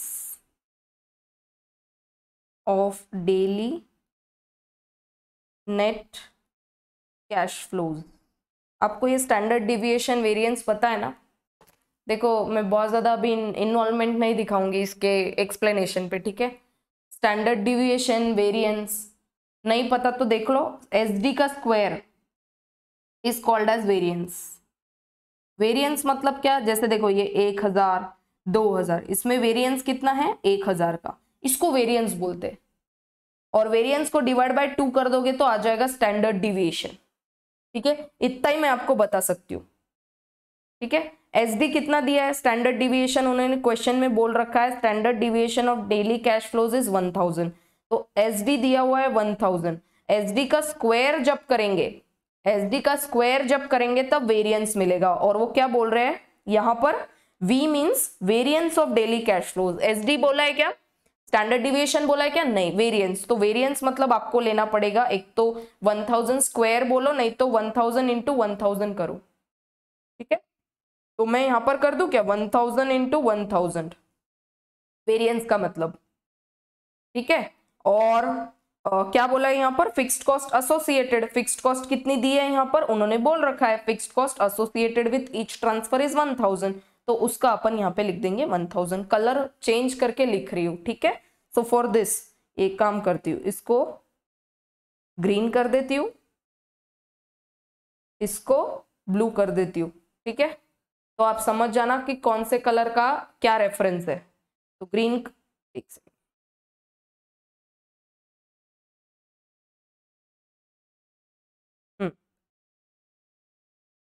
तो ये ब्लू इसके लिए और ये ग्रीन इसके लिए। ठीक है चलो। नेक्स्ट है divided by four I I मतलब क्या? ये interest rate I means interest per day on marketable securities interest per day on marketable securities और ये क्या बोला है? पर एनम होगा ये। ठीक है interest rate directly six percent देना तो छह टका पर डे कौन देगा भाई? अरे सिक्स परसेंट पर डे बोलो, कौन देता है सिक्स परसेंट पर डे का रिटर्न नहीं देता है। तो इस सिक्स परसेंट को पहले पर डे के लिए कन्वर्ट करो। कैसे करोगे? Three sixty five days six by three sixty five बोलो, कितना आता है? Zero point zero one six percent round off करके, ठीक है? तो यहाँ पर मैं लिख दूँगी four into zero point zero one six ठीक है interest rate six divided by three sixty five solve कर दो अब इसको। सॉल्व अकॉर्डिंग टू फॉर्मूला इसको थ्री रखेंगे यहाँ पर। ऊपर और नीचे मुझे बता दो नंबर्स कितने आएँगे? One thousand into three one thousand into one thousand into one thousand into three देखो कितना लंबा आंसर आ रहा है। कितने जीरोज है? काउंट करके लिखो। एक, दो, तीन, चार, पाँच छ सात, आठ, नौ। इतने जीरोज आ गए क्या बराबर? एक सेकेंड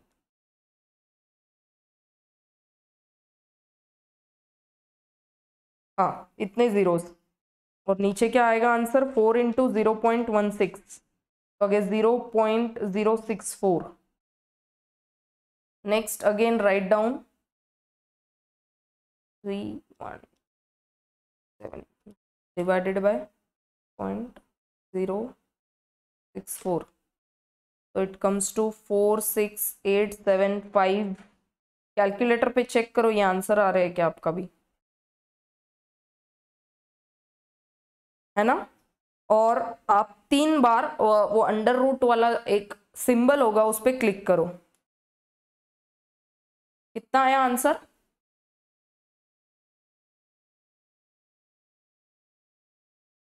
वेट अ सेकेंड ये इक्वेशन को कैसे सॉल्व करना है देखो। ये इसको डायरेक्टली है ना थ्री टाइम्स रूट प्रेस करके नहीं होगा। टू सॉल्व दिस इज़ मैं वापस से इसको लिख रही हूँ four six eight seven five एक, दो, तीन, चार, पाँच, छ, बराबर? करेक्ट है क्या? इसको लिखने का तरीका होता है ऐसा। जब भी ये थ्री जो है रूट के ऐसे ये बीच में यहाँ पर लिखा होता है तो जब अपन ये ब्रैकेट में ऐसा लिखते हैं अभी अंडर रूट हटा दिया मैंने। रूट अगर हटाना है, ये रूट को अगर कैंसिल करना है तो ये इसको अपने को इस तरीके से रेसिप्रोकल में लिखना पड़ेगा। वन बाय थ्री अब you can not solve it like that अगर आप समझो, मैं आपको बोलूँगी टू स्क्वायर बताओ। तो आप क्या बोलोगे? Two into two four, correct है? अगर मैं आपको बोलूँगी टू क्यूब बताओ तो आप बोलोगे two into two into two. तो आप क्या बोलोगे? यहाँ पर आंसर क्या रहेगा? सिक्स। ये ठीक है। अब ये डायरेक्टली कैलकुलेटर पे निकलेगा। लेकिन अब मैंने आपको बोला, बताओ टू वन बाई थ्री कितना। That is two raise to the power one by three को क्या बोलेंगे अपन? ऐसा रहेगा वो point three three three three three इसका आंसर बताओ।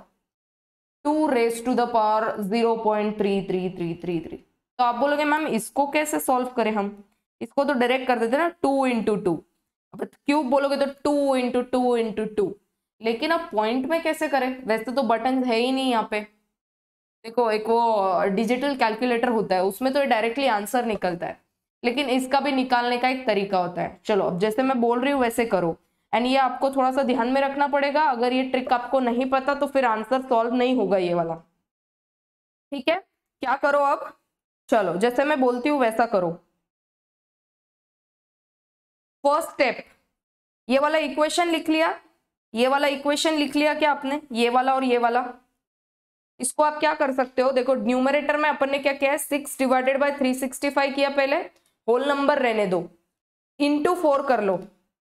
पूरा आंसर आता है zero point zero six five seven five three four two four six four ऐसा आया क्या? पूरा यहाँ पे न्यूमरेटर में ऐसा आया कि आपके कैलकुलेटर पे देखो एक बार। जिसमें से मैंने ये है ना, इतने डिजिट्स ले लिए zero point zero six five seven five इतना ले लिया। ठीक है? या पूरा ही रहने दो। तो न्यूमरेटर डिनोमिनेटर पूरा ऐसा लिखना है। चलो कैलकुलेटर पे आप पूरा ये करो तो डिवाइड थ्री के आगे नौ ज़ीरो लगाओ। One two three four five six seven eight nine divided by point zero six five seven five three four two four six four equal to कितना आया answer four five six two ऐसा कुछ आया? ये अपना ऐसा answer इसलिए आया क्योंकि अपन ने ये होल नंबर नहीं लिया था। नीचे का न्यूमरेटर होल नंबर नहीं लिया था। तो यहाँ पर मैं पूरा लिख दूँगी। Four five six two five zero zero zero zero one two point one इस तरीके का आपके कैलकुलेटर पे भी आया क्या? सेम इसी नंबर को यहाँ पे लिख दो। सेम यही नंबर को यहाँ पे लिख के इस तरीके का डाल दो। और ये वन बाय थ्री को अगर मैं ऐसे लिखूं तो चलेगा? Point three three three three three three correct है? अब how to solve the answer जो भी आपके कैलकुलेटर पे अभी है, रहने दो, सब लोग अपना कैलकुलेटर ले लो। ये आंसर आया है four five six two five double zero double zero one two point one अभी आपको क्या करना है, देखो स्टेप वन स्टेप वन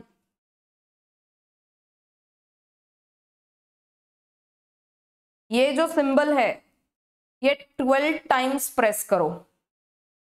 कर दो press one two three four five six seven eight nine ten eleven twelve आपका आंसर आएगा one point zero zero six zero one zero one zero eight one nine ये आया क्या सबका?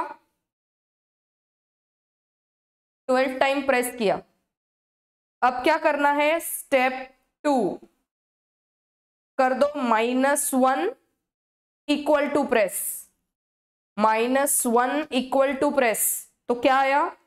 Answer क्या आया अभी? Zero point zero zero six zero one zero one zero eight one nine आया ये answer step three step three into ये रेस टू पावर में क्या लिखा है अपन ने? Point three three three three three three बराबर है? सो so, आपको करना है into point three three three three three three three three ये इंटू है मल्टीप्लाई मल्टीप्लाई ठीक है एक्स नहीं है वो मल्टीप्लाई ये करके इक्वल टू प्रेस करना है करो multiply point three three three three three three पूरे ले लो जब तक कैलकुलेटर पे थ्री खत्म नहीं होता ठीक है इंटू करके इक्वल टू प्रेस किया तो आपको आंसर मिलता होगा यहाँ पे zero point zero zero two double zero एक सेकेंड पेन चला गया मेरा। आज पेन को पता नहीं क्या हो गया। मैं डिक्टेट कर रही हूँ। Zero point zero zero two double zero double three six nine three nine ये आया क्या सबके कैलकुलेटर पे? अब स्टेप फोर में करो। प्लस वन इक्वल टू करो। Plus one equal to press तो आंसर आया है one point double zero two double zero three three six nine three nine ये आया। अब स्टेप फाइव में करना है into equal to into equal to into equal to ऐसा ट्वेल्व टाइम्स करो। एक, दो, तीन, चार, पाँच छ सात, आठ, नौ, दस, ग्यारह, बारह। कितना आया आंसर सबके कैलकुलेटर पे? Three six three two point one nine four six five one four five आया क्या? अरे बोलो यारो।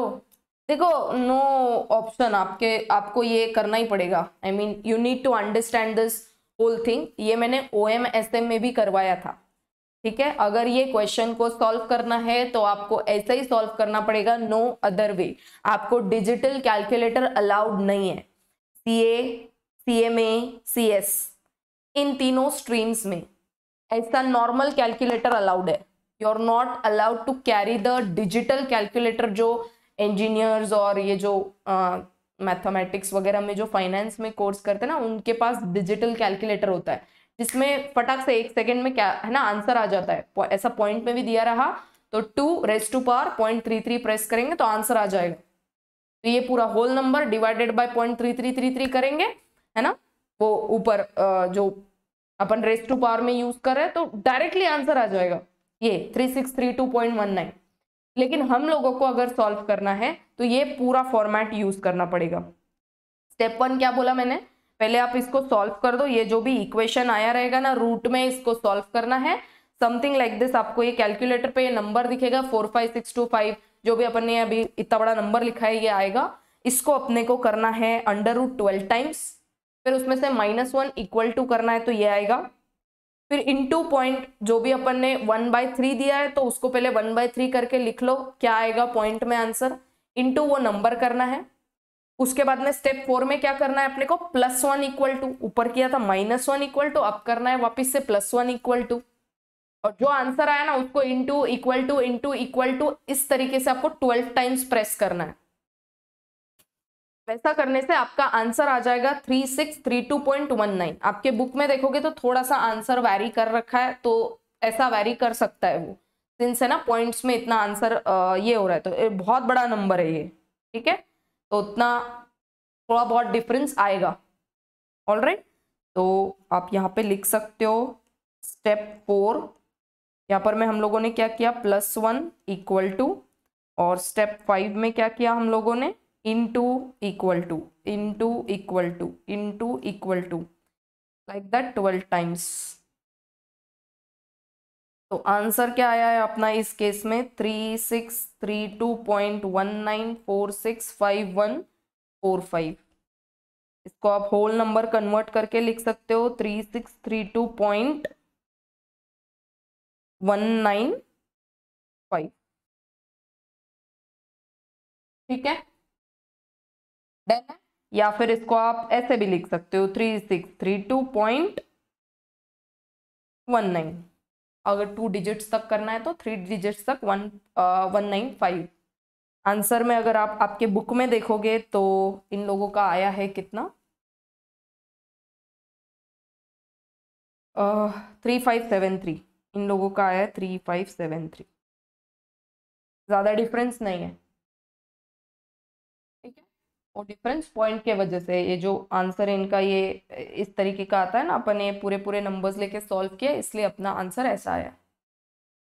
ऑल सेट ये अगर नहीं पता तो आंसर सॉल्व नहीं होगा। किसी को ये टॉपिक इग्नोर करना है तो देख लो आपके हिसाब से। मैं इग्नोर नहीं कर सकती I have to teach the same ठीक है? कोई अगर स्टूडेंट uh, ऐसा रहेगा कि मैम हम लोगों को आप पढ़ाई दो then that is our responsibility कि हम लोग उसको कैसे करें। है ना? अब देखो इतनी थोड़ी थोड़ी चीज़ें आपको याद रखनी पड़ेगी और ड्यूरिंग द एग्ज़ाम पहले से बहुत पहले से पढ़ के मत रखो। एग्ज़ाम जब आप लिखने जा रहे हो उसके एक घंटा पहले ऐसी चीज़ें पढ़नी चाहिए। बहुत पहले पढ़ के रखोगे एग्ज़ाम के टाइम पढ़ के नहीं जाओगे तो वहाँ याद नहीं आएगा। देखो इस तरीके का क्वेश्चन ना मैंने सीए फाइनल में सॉल्व कर रखा था। Then again I got confuse इसको करते कैसे है है ना? I press that square root three times वैसे आंसर नहीं निकलता है। देन आई रिकॉल्ड अच्छा वो पूरा जो है ना? स्टेप वन स्टेप टू होता है वो पूरा करना पड़ेगा तब जाके आंसर निकलेगा। ऑल राइट न्यू अगर मटेरियल आप देखोगे यहाँ पर न्यू uh, मैट तो इसमें थोड़े से और क्वेश्चंस उन लोगों ने पूछ के रखे हैं। ये देखो ये। इस तरीके के क्वेश्चन आप सॉल्व कर सकते हो। ये देखो, यहाँ पे दिया है सेलिंग सिक्योरिटीज 150 पर ट्रांजैक्शन ठीक है? और ट्रांजैक्शन कॉस्ट है डेली कैश फ्लोज है दो lakh direct standard deviation of companies cash flow दे रखा है दो लाख। आई थिंक वो वेरियस वेरियंस होना चाहिए। वेरियंस है। एच डी का स्क्वायर होता है वेरियंस दो लाख का स्क्वायर थोड़ी लेंगे। पता नहीं यार, ये लोग ऐसा मिस्टेक्स क्यों दे रहे हैं? स्टैंडर्ड डिविएशन का स्क्वायर रहता है वेरियंस ठीक है, आप देख रहे हो सिग्मा स्क्वायर यहाँ पे तो सिग्मा स्क्वायर को दो लाख लिया है। सिग्मा स्क्वायर मीन्स ही वेरियंस ये एस डी नहीं होता है। फिर तो आपको दो लाख का स्क्वायर लेना पड़ेगा, अगर ये स्टैंडर्ड डिविएशन बोल रहे तो। वो स्टैंडर्ड डिविएशन काट के वहाँ लिखो वेरिएंस ठीक है? तो 150 फिफ्टी इंटू टू लाख फिर डिवाइड करके लिख देना। सिग्मा स्क्वायर दिया है दो लाख।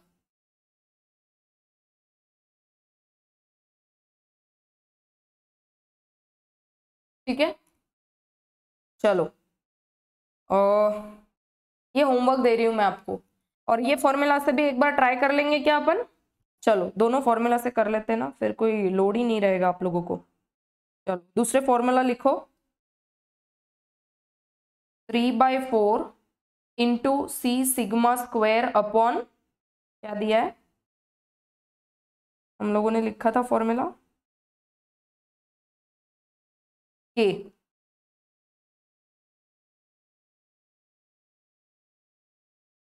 हाँ लिखो।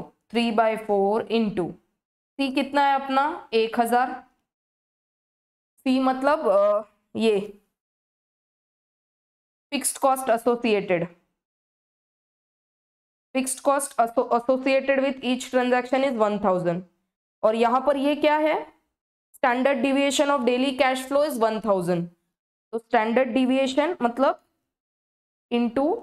वन थाउज़ेंड ये सिग्मा मतलब स्टैंडर्ड डिविएशन इसका स्क्वायर मतलब हो गया वेरिएंस ये इसका मतलब होगा स्टैंडर्ड डिविएशन अब वो क्वेश्चन में उन्होंने स्टैंडर्ड डिविएशन दिया है दो लाख. दो लाख का स्क्वायर लो ना फिर। समझ पा रहे हो आप? डायरेक्ट दो लाख लेना मतलब it is variance it is variance और अगर ये स्टैंडर्ड डिविएशन अगर क्वेश्चन में बोल रहे तो आपको स्क्वायर करना पड़ेगा। I you getting my point अरे कत का हो। All right. तो वहाँ पर वो क्वेश्चन में करेक्शन कर लो, नए मैट के। It is variance not standard deviation जो कोई भी क्वेश्चन है वो। कौन सा क्वेश्चन है? Illustration twenty two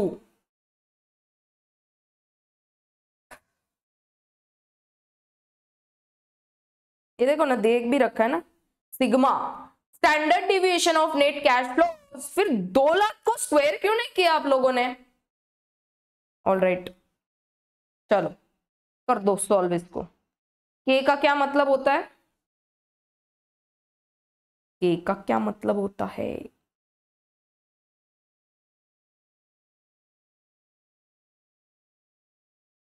Point zero six divided by three sixty five six divided by three sixty five ही करो उसको। पॉइंट ज़ीरो सिक्स नहीं six divided by three sixty five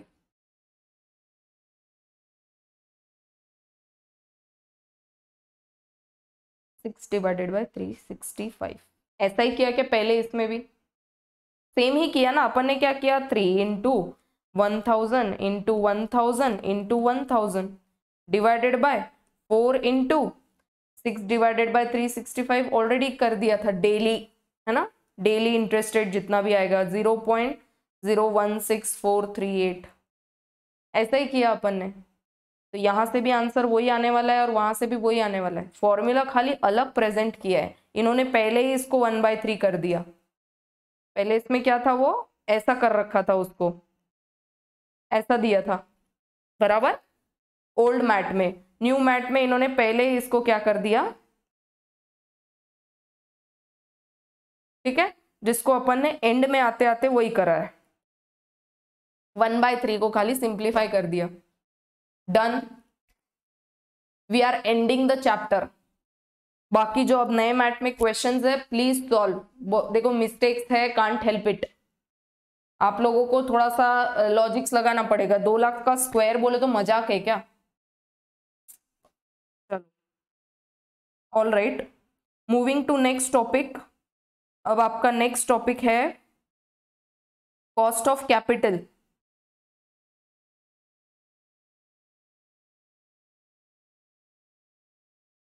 PDF add कर लेते हैं।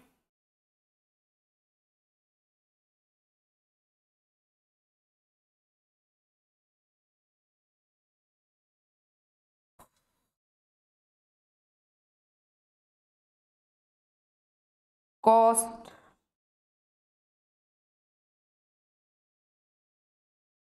ऑफ़ कैपिटल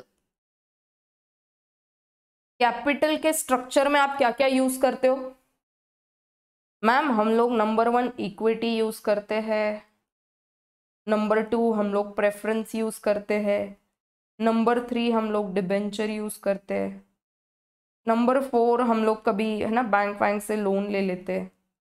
नंबर फाइव, हम लोग कोई financial institution से लोन ले लेते हैं। समझ पा रहे हो?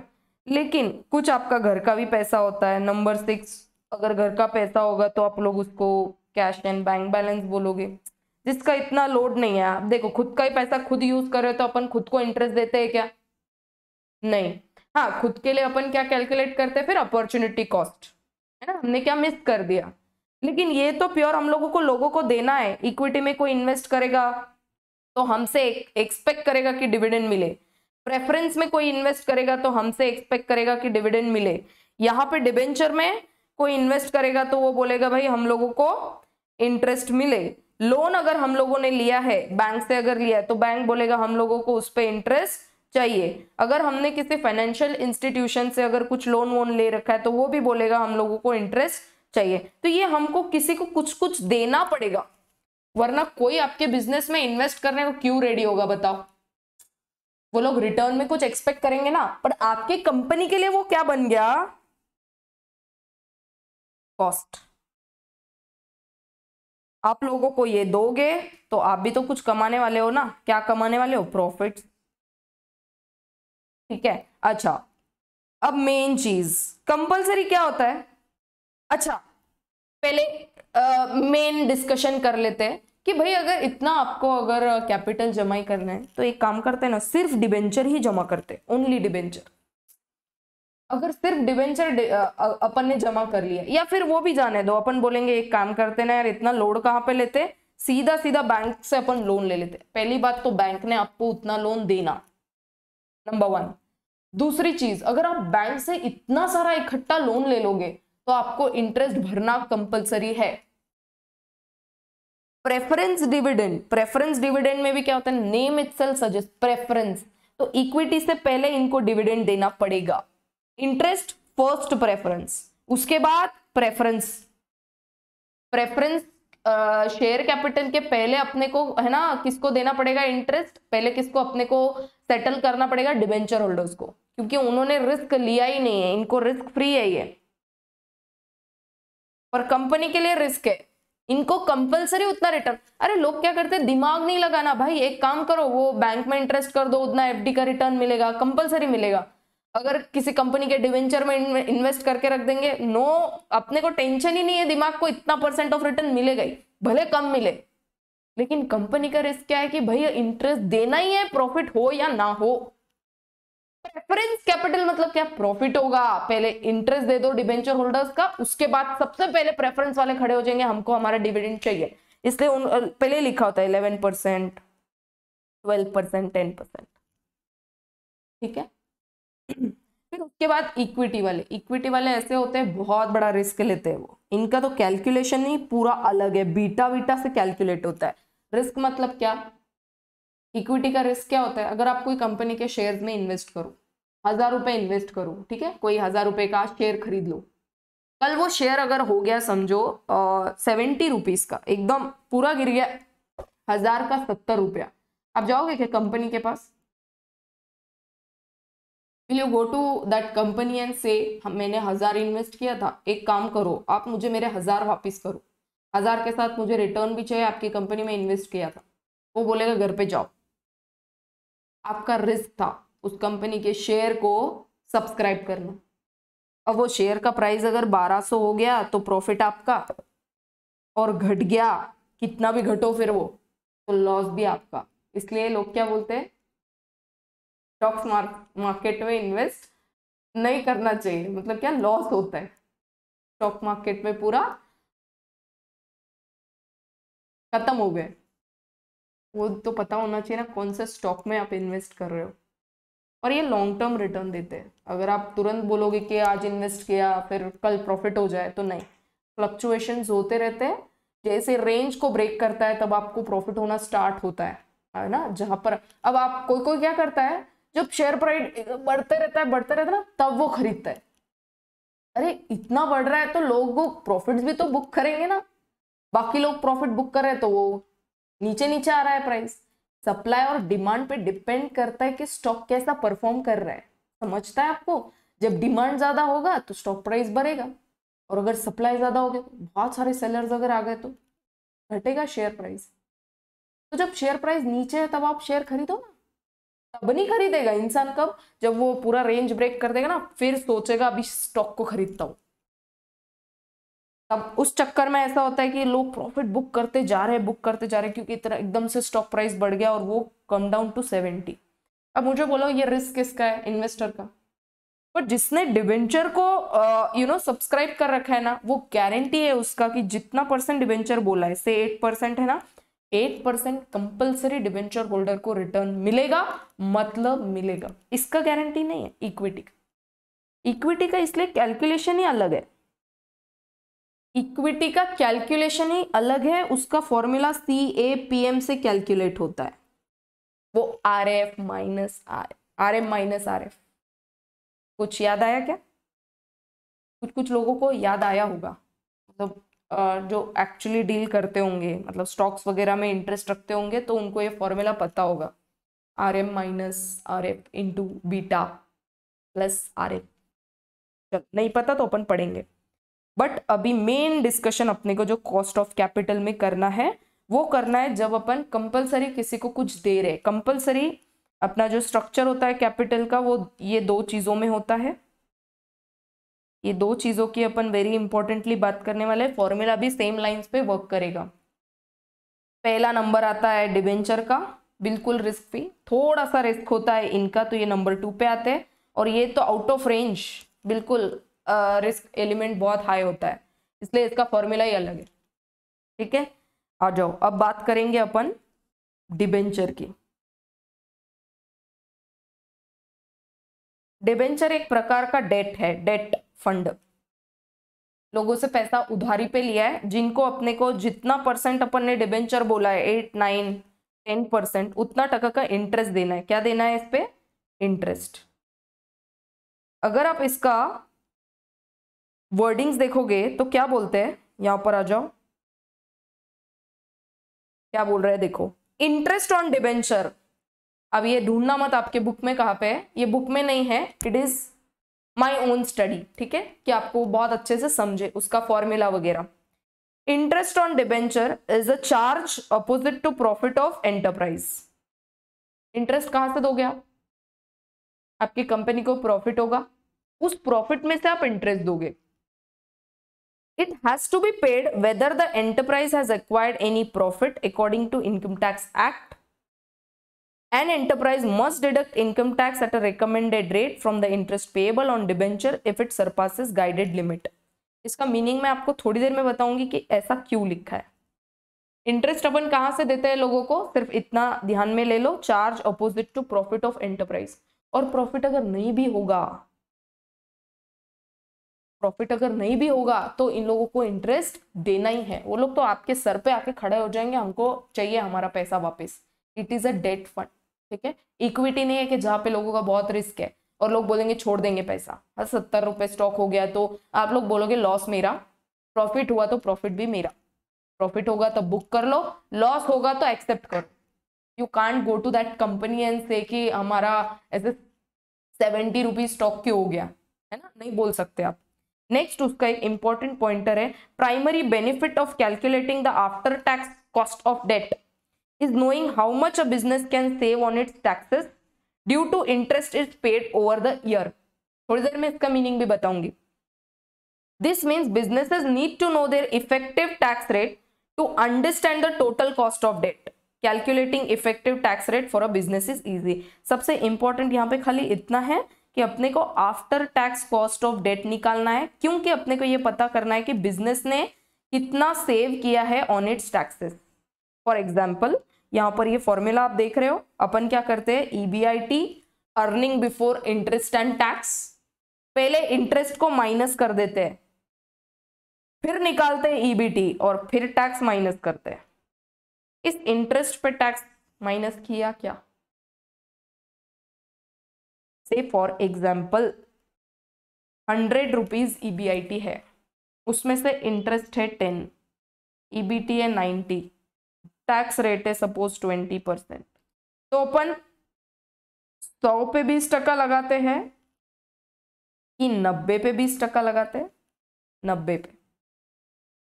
नाइन्टी इंटू ट्वेंटी परसेंट करो तो टैक्स है एटीन और आफ्टर टैक्स आ गया नाइन्टी माइनस एटीन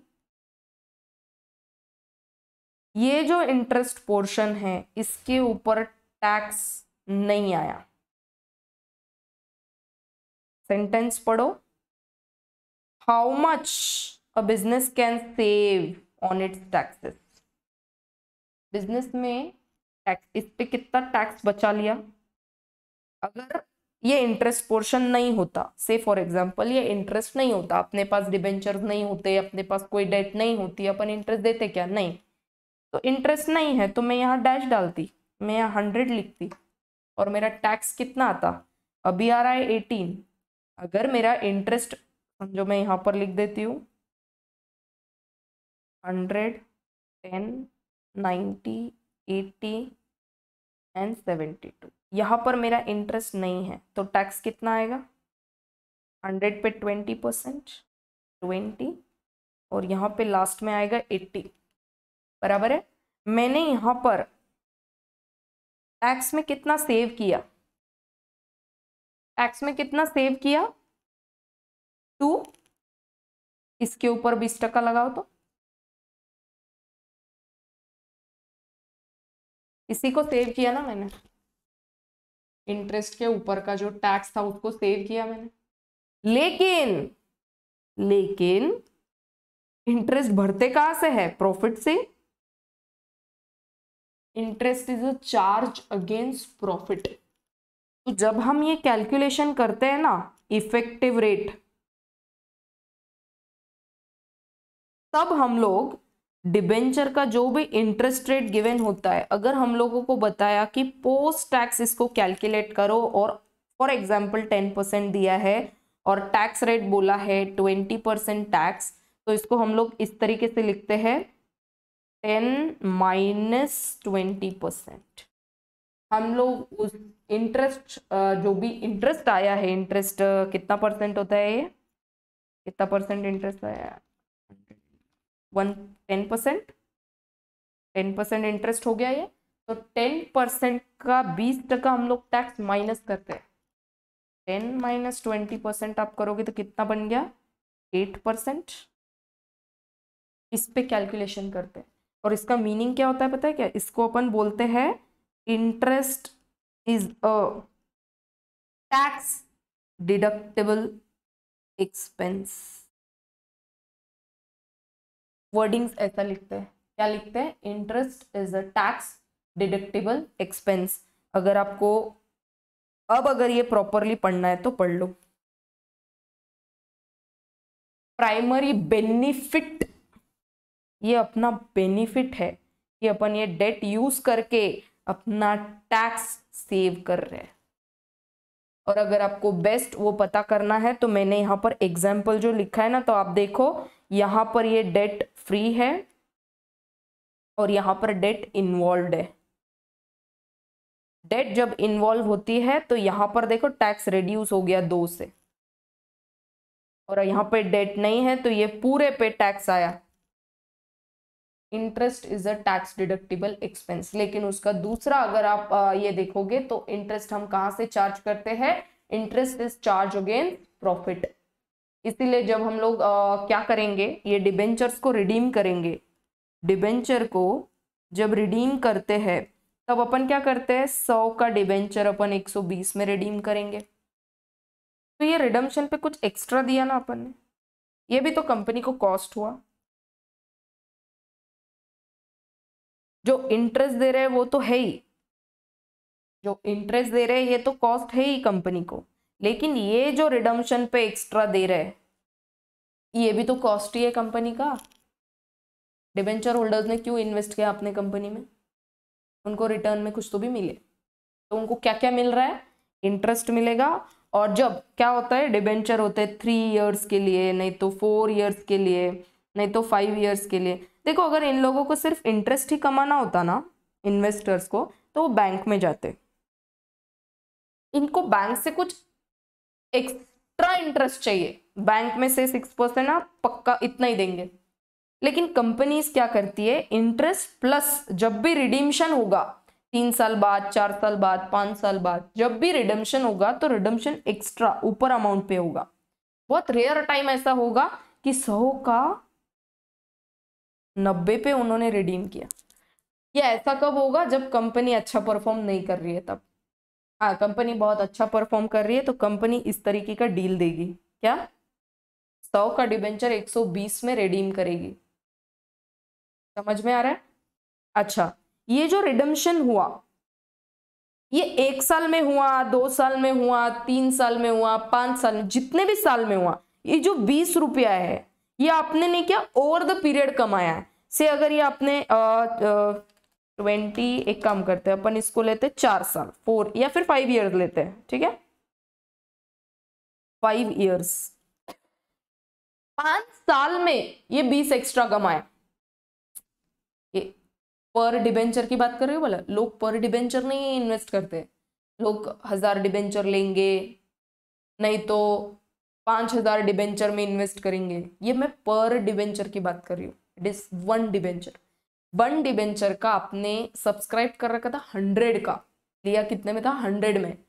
उसको रिडीमशन का जब टाइम आया, पाँच साल खत्म हो गए कंपनी आपको वापस कर रही है आपके पैसे, तब आपको दे रही है सौ का एक सौ बीस।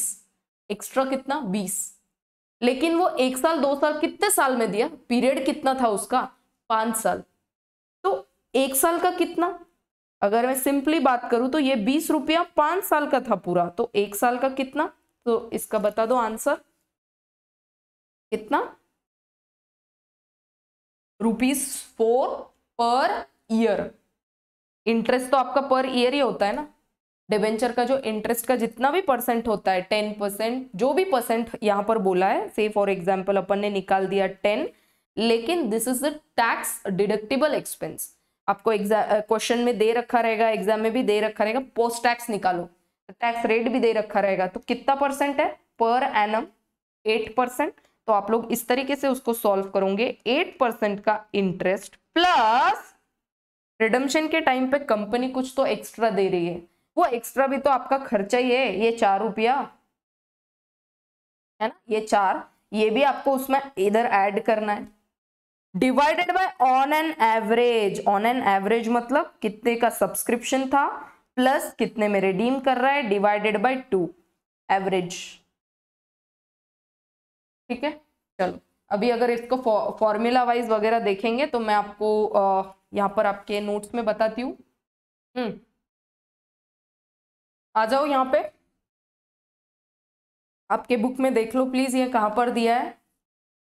कॉस्ट ऑफ़ कैपिटल में थोड़ा सा सर्च करो, आगे बढ़ो। ये देखो, ये ऊपर वाला बाद में अपन देखेंगे ये सब क्या है इम्प्लिसिट एक्सप्लिसिट और इसमें ना मैं बहुत ज़्यादा थ्योरी पे फोकस नहीं करने वाली हूँ। थ्योरी पे I am not going to focus पूरा प्योर प्रैक्टिकल टॉपिक है। है ना? फटाफट अपन इसको सॉल्व करने वाले हैं। देखो नॉर्मल अगर आप लोग बिफोर टैक्स को कैलकुलेट करेंगे तो सीधा सीधा क्या करना है? Interest divided by sale price और अगर जब अपन पोस्ट टैक्स ले रहे हैं, क्या बोल रहे हैं? देखो कॉस्ट ऑफ़ रिडीमेबल डेट अगर इरिडीमेबल डेट रहेगा तो सीधा सीधा interest divided by sale price of debenture bond irredeemable मतलब रिडीम नहीं करने वाले उसको। हाँ रिडीमेबल मतलब यही ज़्यादा करके अपने को एग्जामिनेशन में क्वेश्चन पूछने वाले हैं। तो कैसा फॉर्मूला अपन ने डिराइव किया है, देखो। Interest one minus tax post tax calculate करना है, ये देखो यहाँ पर दिया है।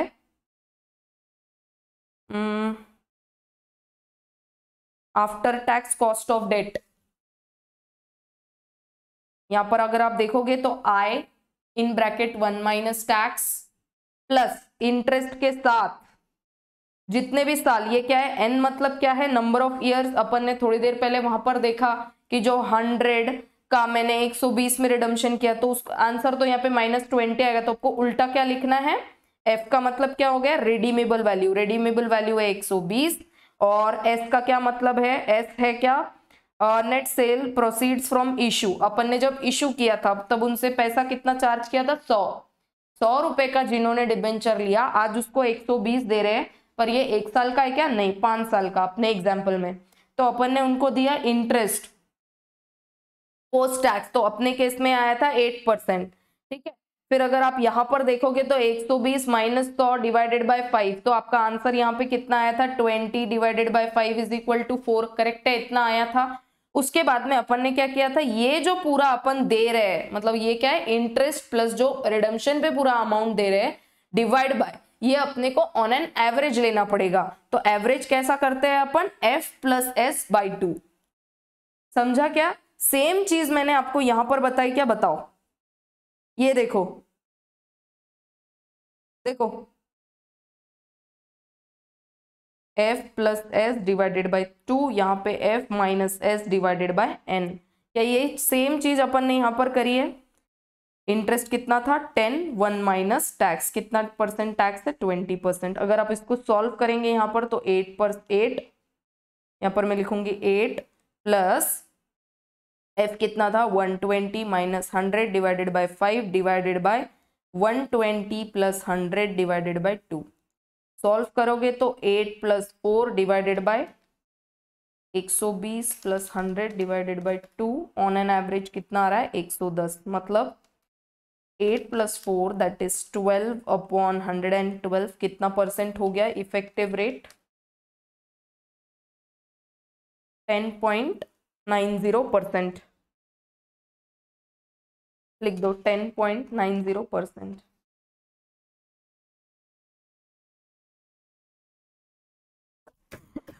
Normally आप लोगों को ऊपर क्या दिया रहता है, पता है क्या? टेन परसेंट डिबेंचर, है ना? Ten percent debenture. Ten percent of interest हर साल हर साल देते रहोगे देते रहोगे देते रहोगे।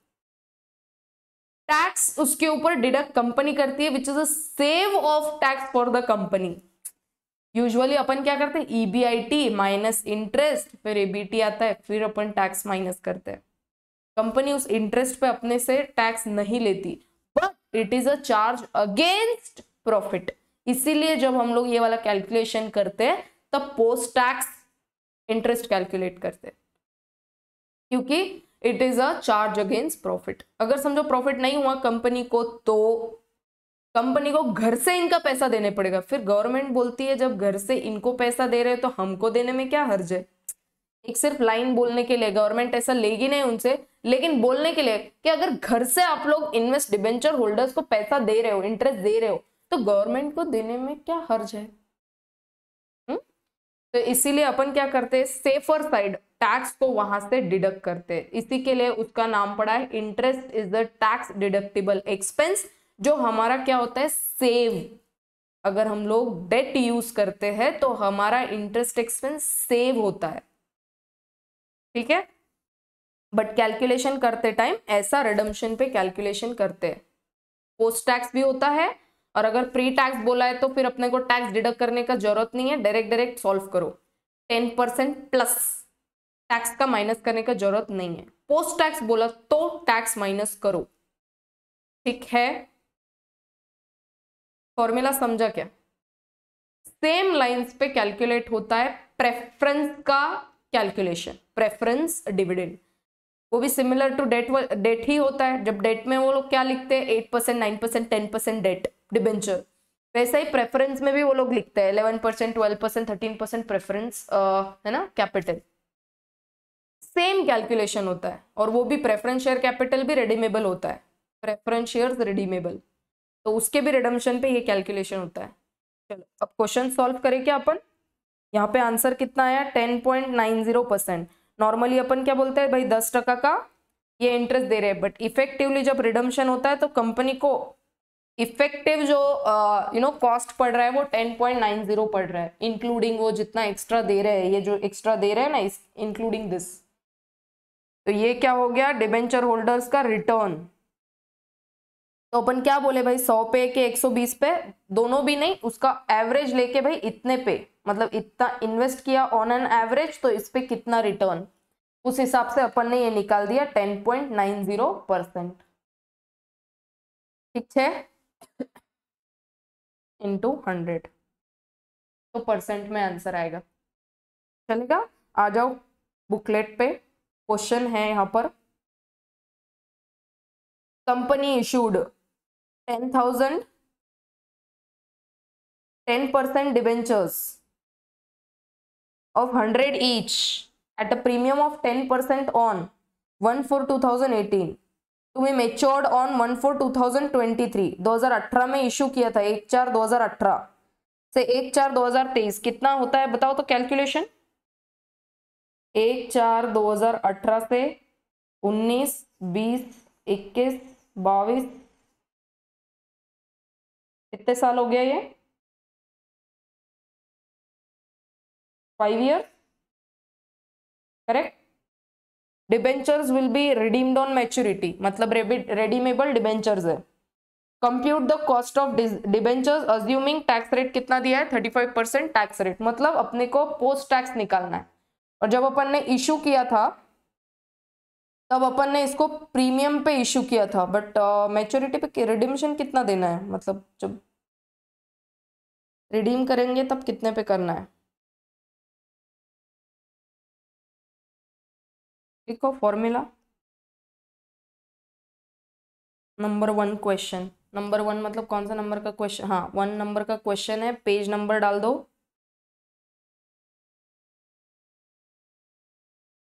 मेरे बुक का पेज नंबर डालोगे तो इट इज़ थ्री इंस्टीट्यूट का डालोगे तो it is three seventy write down the answer post tax दे रहे हैं तो इंटरेस्ट कितना परसेंट बोला है? Interest is ten percent write down ten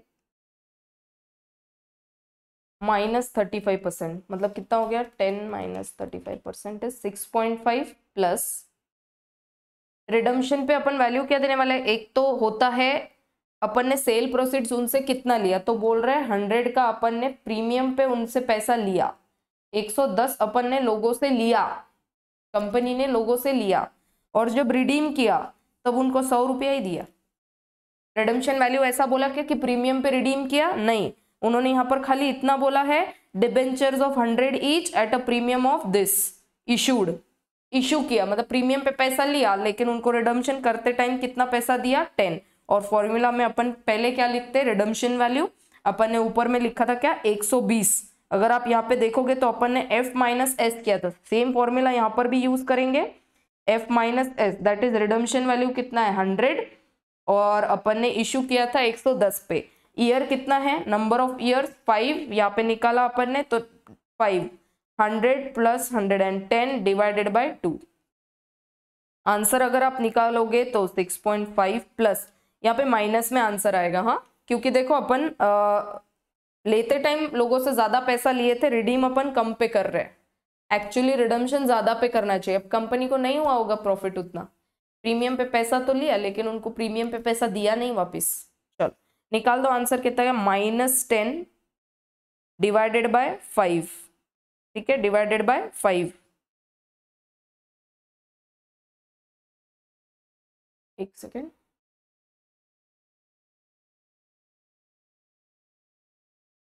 divided by hundred plus hundred and ten divided by two hundred and five answer अगर निकालोगे तो ये जो लॉस हुआ है दस रुपए का, एक साल में नहीं हुआ है, पाँच साल में हुआ है। तो टेन डिवाइड बाय फाइव अगर करोगे तो माइनस टू प्लस माइनस मतलब माइनस इसलिए minus two divided by one zero five return कितना मिला? Six point five minus two that is four point five divided by one zero five into hundred कितना percent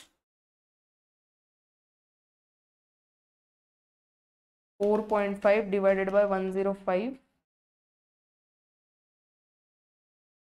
into hundred four point two eight five percent ठीक है? या फिर to eight percent ही रहने दो। Round easy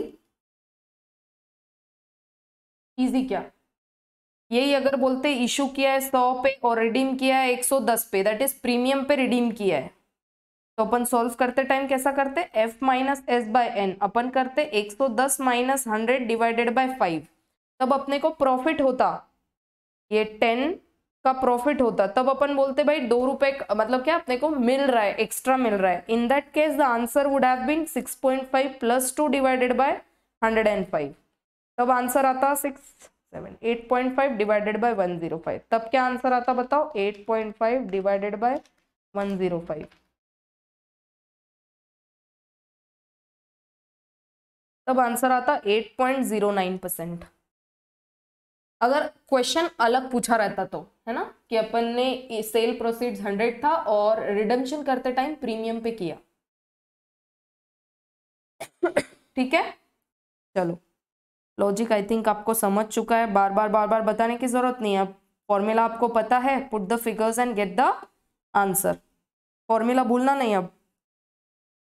Next question company issued 10000 10% debentures of 100 each on 1 4 2018 to be matured on 1 4 2023 company wants to know the current cost of its existing debt market price of the debenture is 80 compute the cost of existing debentures assuming 35% tax rate अब यहाँ से premium उड़ा दिया और बोला कि market price है 80 और अपन ने इश्यू किया था 100 पे निकाल दो आंसर वेटिंग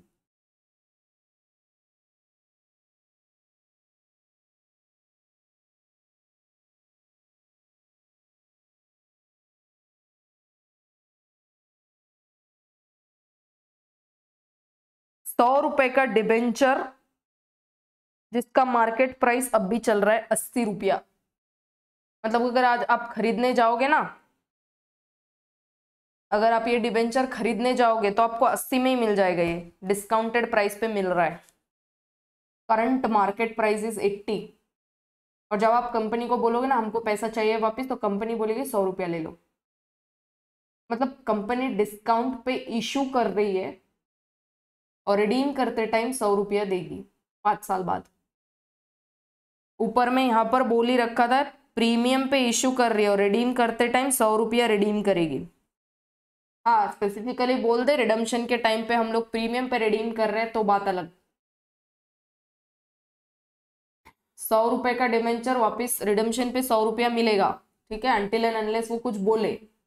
मार्केट प्राइस चल रहा है अस्सी। अगर मैं आपको बोलूँ, जाओ और डिबेंचर खरीदो तो आप कितने में खरीदोगे? सौ में या अस्सी में?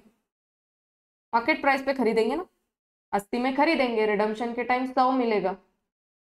तो कैलकुलेशन किस तरीके का होगा? Ten minus thirty five percent. Additionally क्या मिल रहा है? हंड्रेड अपने को रिडम्शन पे मिलेगा। कॉस्ट अभी अस्सी लग गया।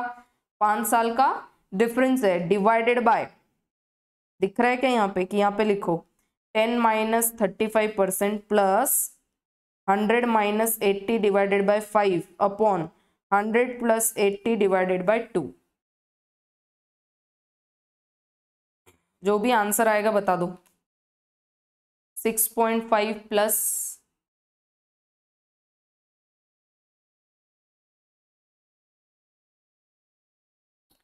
four divided by ninety. Into hundred कितना आया answer eleven point six seven percent ठीक है? देखो स्पीड में सॉल्व हो रहा है।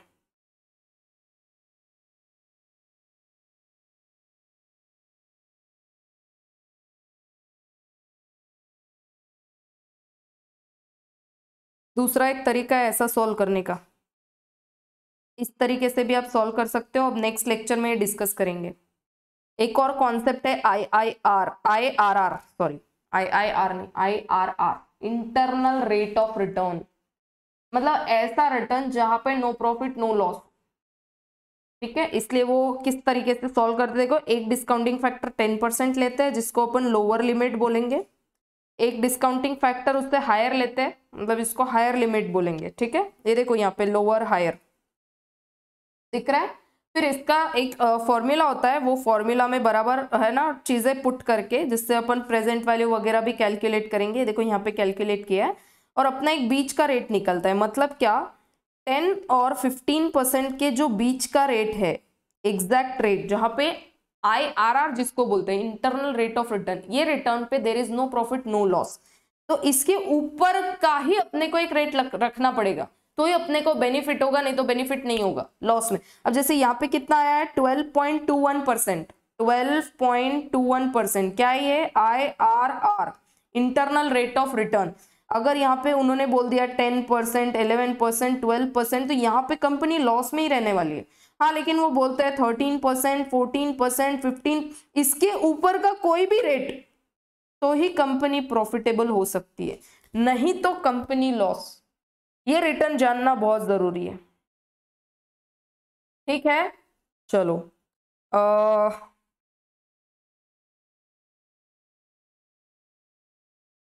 हम्म कर दो सॉल्व ये होमवर्क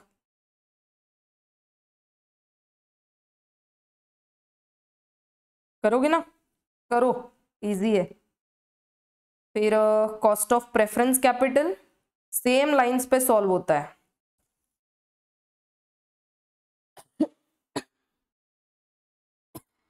सेम लाइंस पे सॉल्व होता है प्लीज़ डू इट ये देखो फॉर्मूला एनुअल डिविडेंड अब इंटरेस्ट के जगह डिविडेंड वर्ड यूज़ करेंगे redemption value net proceeds and life of preference shares कब रिडीम कर रहे हैं. निकाल दो इसका आंसर होमवर्क होमवर्क अब देखो, नया कॉन्सेप्ट आया है, सिर्फ़ फ्लोटेशन कॉस्ट का. तो देखना आंसर कैसा सॉल्व होता है सॉल्यूशन में देखना किस तरीके का फ्लोटेशन कॉस्ट माइनस करते हैं, ठीक है? फिर यहाँ पे देखो सारा इक्विटी का स्टार्ट हो गया, है ना? कांस्टेंट ग्रोथ मॉडल उसको बोलेंगे गॉर्डन अर्निंग मॉडल तो उसका फॉर्मूला अलग, ठीक है? फिर एक एवरेज मेथड होता है, फिर गॉर्डन ग्रोथ मॉडल होता है रियलाइज्ड यील्ड अप्रोच होता है। इक्विटी में देखो कितना है और ये आ गया अपना C A P M model capital asset pricing model जिसका शॉर्ट फॉर्म होता है सी ए पी एम ये है formula K is equal to RF plus beta into RM minus RF. Very important. Very, very important. Notations दिए अभी नहीं पढ़ेंगे बाद में पढ़ेंगे ठीक है जब अपन पूरा डिस्कशन करेंगे अनसिस्टमेटिक रिस्क क्या होती है सिस्टमेटिक रिस्क क्या होती ठीक है? ये देखो। पूरा कैलकुलेशन करके दिया है। इतना सारा डिस्कशन किया है और फिर बात कर रहे हैं वो कॉस्ट ऑफ़ इक्विटी कैपिटल की। डिवेंचर कंप्लीट प्रेफरेंस कंप्लीट फिर आ गए इक्विटी पे। इक्विटी का पूरा डिस्कशन वापस करेंगे। अभी के लिए बताओ जल्दी से आप लोगों को डिबेंचर का जो कैलकुलेशन है redeemable debenture redeemable debenture and redeemable preference dividend irredeemable irredeemable अगर रहेगा तो उसका जो सिंपल कैलकुलेशन है इंटरेस्ट अपॉन जो भी आपका सेल आ, क्या? सेल प्रोसीड्स है वो आपको डिवाइड करना है। ऊपर आओ ये देखो यहाँ पे।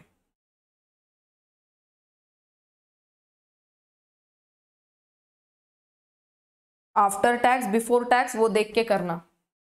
बिफोर टैक्स रहेगा तो ओनली इंटरेस्ट लेना आफ्टर टैक्स रहेगा तो कुछ इस तरीके का कैलकुलेट होगा। आप देख रहे हो यहाँ पे interest payment tax rate sales proceed तो क्या किया उन्होंने? Interest one minus tax upon P मतलब क्या? सेल प्रोसीड तो interest post tax divided by sale proceeds और ये interest pre tax divided by sales proceed ठीक है? ये क्या है? परपेचुअर और इरेडीमेबल डेट रहा तो और रिडीमेबल रहा तो उसका है पूरा ये फॉर्मूला ये दिखता है? Can you see this formula क्या मैंने इसको एक्सप्लेन कर दिया? येस और नो भूलना नहीं कभी ये फॉर्मूला अब नेक्स्ट है, आ जाओ. ये अपन पूरा डिस्कशन करेंगे. बहुत आसान है ये. खाली मैंने इसका रफली डिस्कशन कर दिया. आई आर आर का क्या मतलब होता है और सॉल्व कैसा करना है? ठीक है, एक लोअर अपन परसेंट ले लेंगे. डिस्काउंटिंग फैक्टर एक हायर और फिर सॉल्विंग करके पूरा सॉल्विंग करके अपन पता करेंगे उनके बीच का जो एक रेट आएगा। उसके रेट के नीचे अगर कोई रेट्स रहेगा तो अपने को लॉस होगा। उस रेट के ऊपर कुछ भी अपने को रेट अगर मिलेगा तो वो होगा अपने कंपनी के लिए प्रॉफिटेबल रेट ठीक है?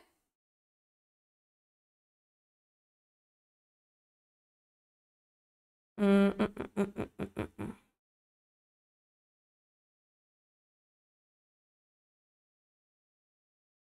एक कैलकुलेशन होता है कन्वर्टिबल डिबेंचर का। मतलब क्या डिबेंचर को अगर इक्विटी में कन्वर्ट किया तो उसका प्राइसिंग कैसा होता है?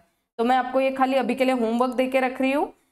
वो लोग बोलेंगे कि आपके जो डिबेंचर है, वो इतने इतने one is to two ratio में इक्विटी दे दिया। जो भी आपको रेशियो दे रखा रहेगा, यहाँ पे दिया है वन इज़ टू टेन एक डिबेंचर के बदले दस शेयर दिए जाएँगे। तो उसके हिसाब से कैलकुलेशन करना है, सिर्फ़ एक बार का सॉल्व करके देखो। ठीक है?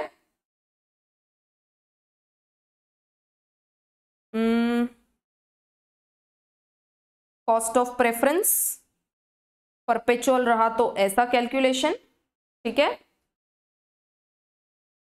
और डीटी क्या होता है? डिबेंचर टैक्स सेम जैसा डिबेंचर का सॉल्व किया, वैसा ही प्रेफरेंस का सॉल्व करना है। सिर्फ़ प्रेफरेंस में क्या होगा? डिविडेंड टैक्स होगा। नॉर्मल ऊपर डिबेंचर के केस में ओनली टैक्स रेट देते हैं। और रिडीमेबल प्रेफरेंस का तो सेम फॉर्मूला है। जैसा डिबेंचर का है। ठीक है? होमवर्क दे रही हूँ फोर फाइव एंड सिक्स ठीक है? फिर इक्विटी का पूरा वापस मैं आपको सॉल्विंग बताऊँगी कॉन्सेप्ट भी डिस्कस करेंगे। ऑल राइट इंपॉर्टेंट उसमें C A P M formula रहेगा। चलो। Have a very great day bye bye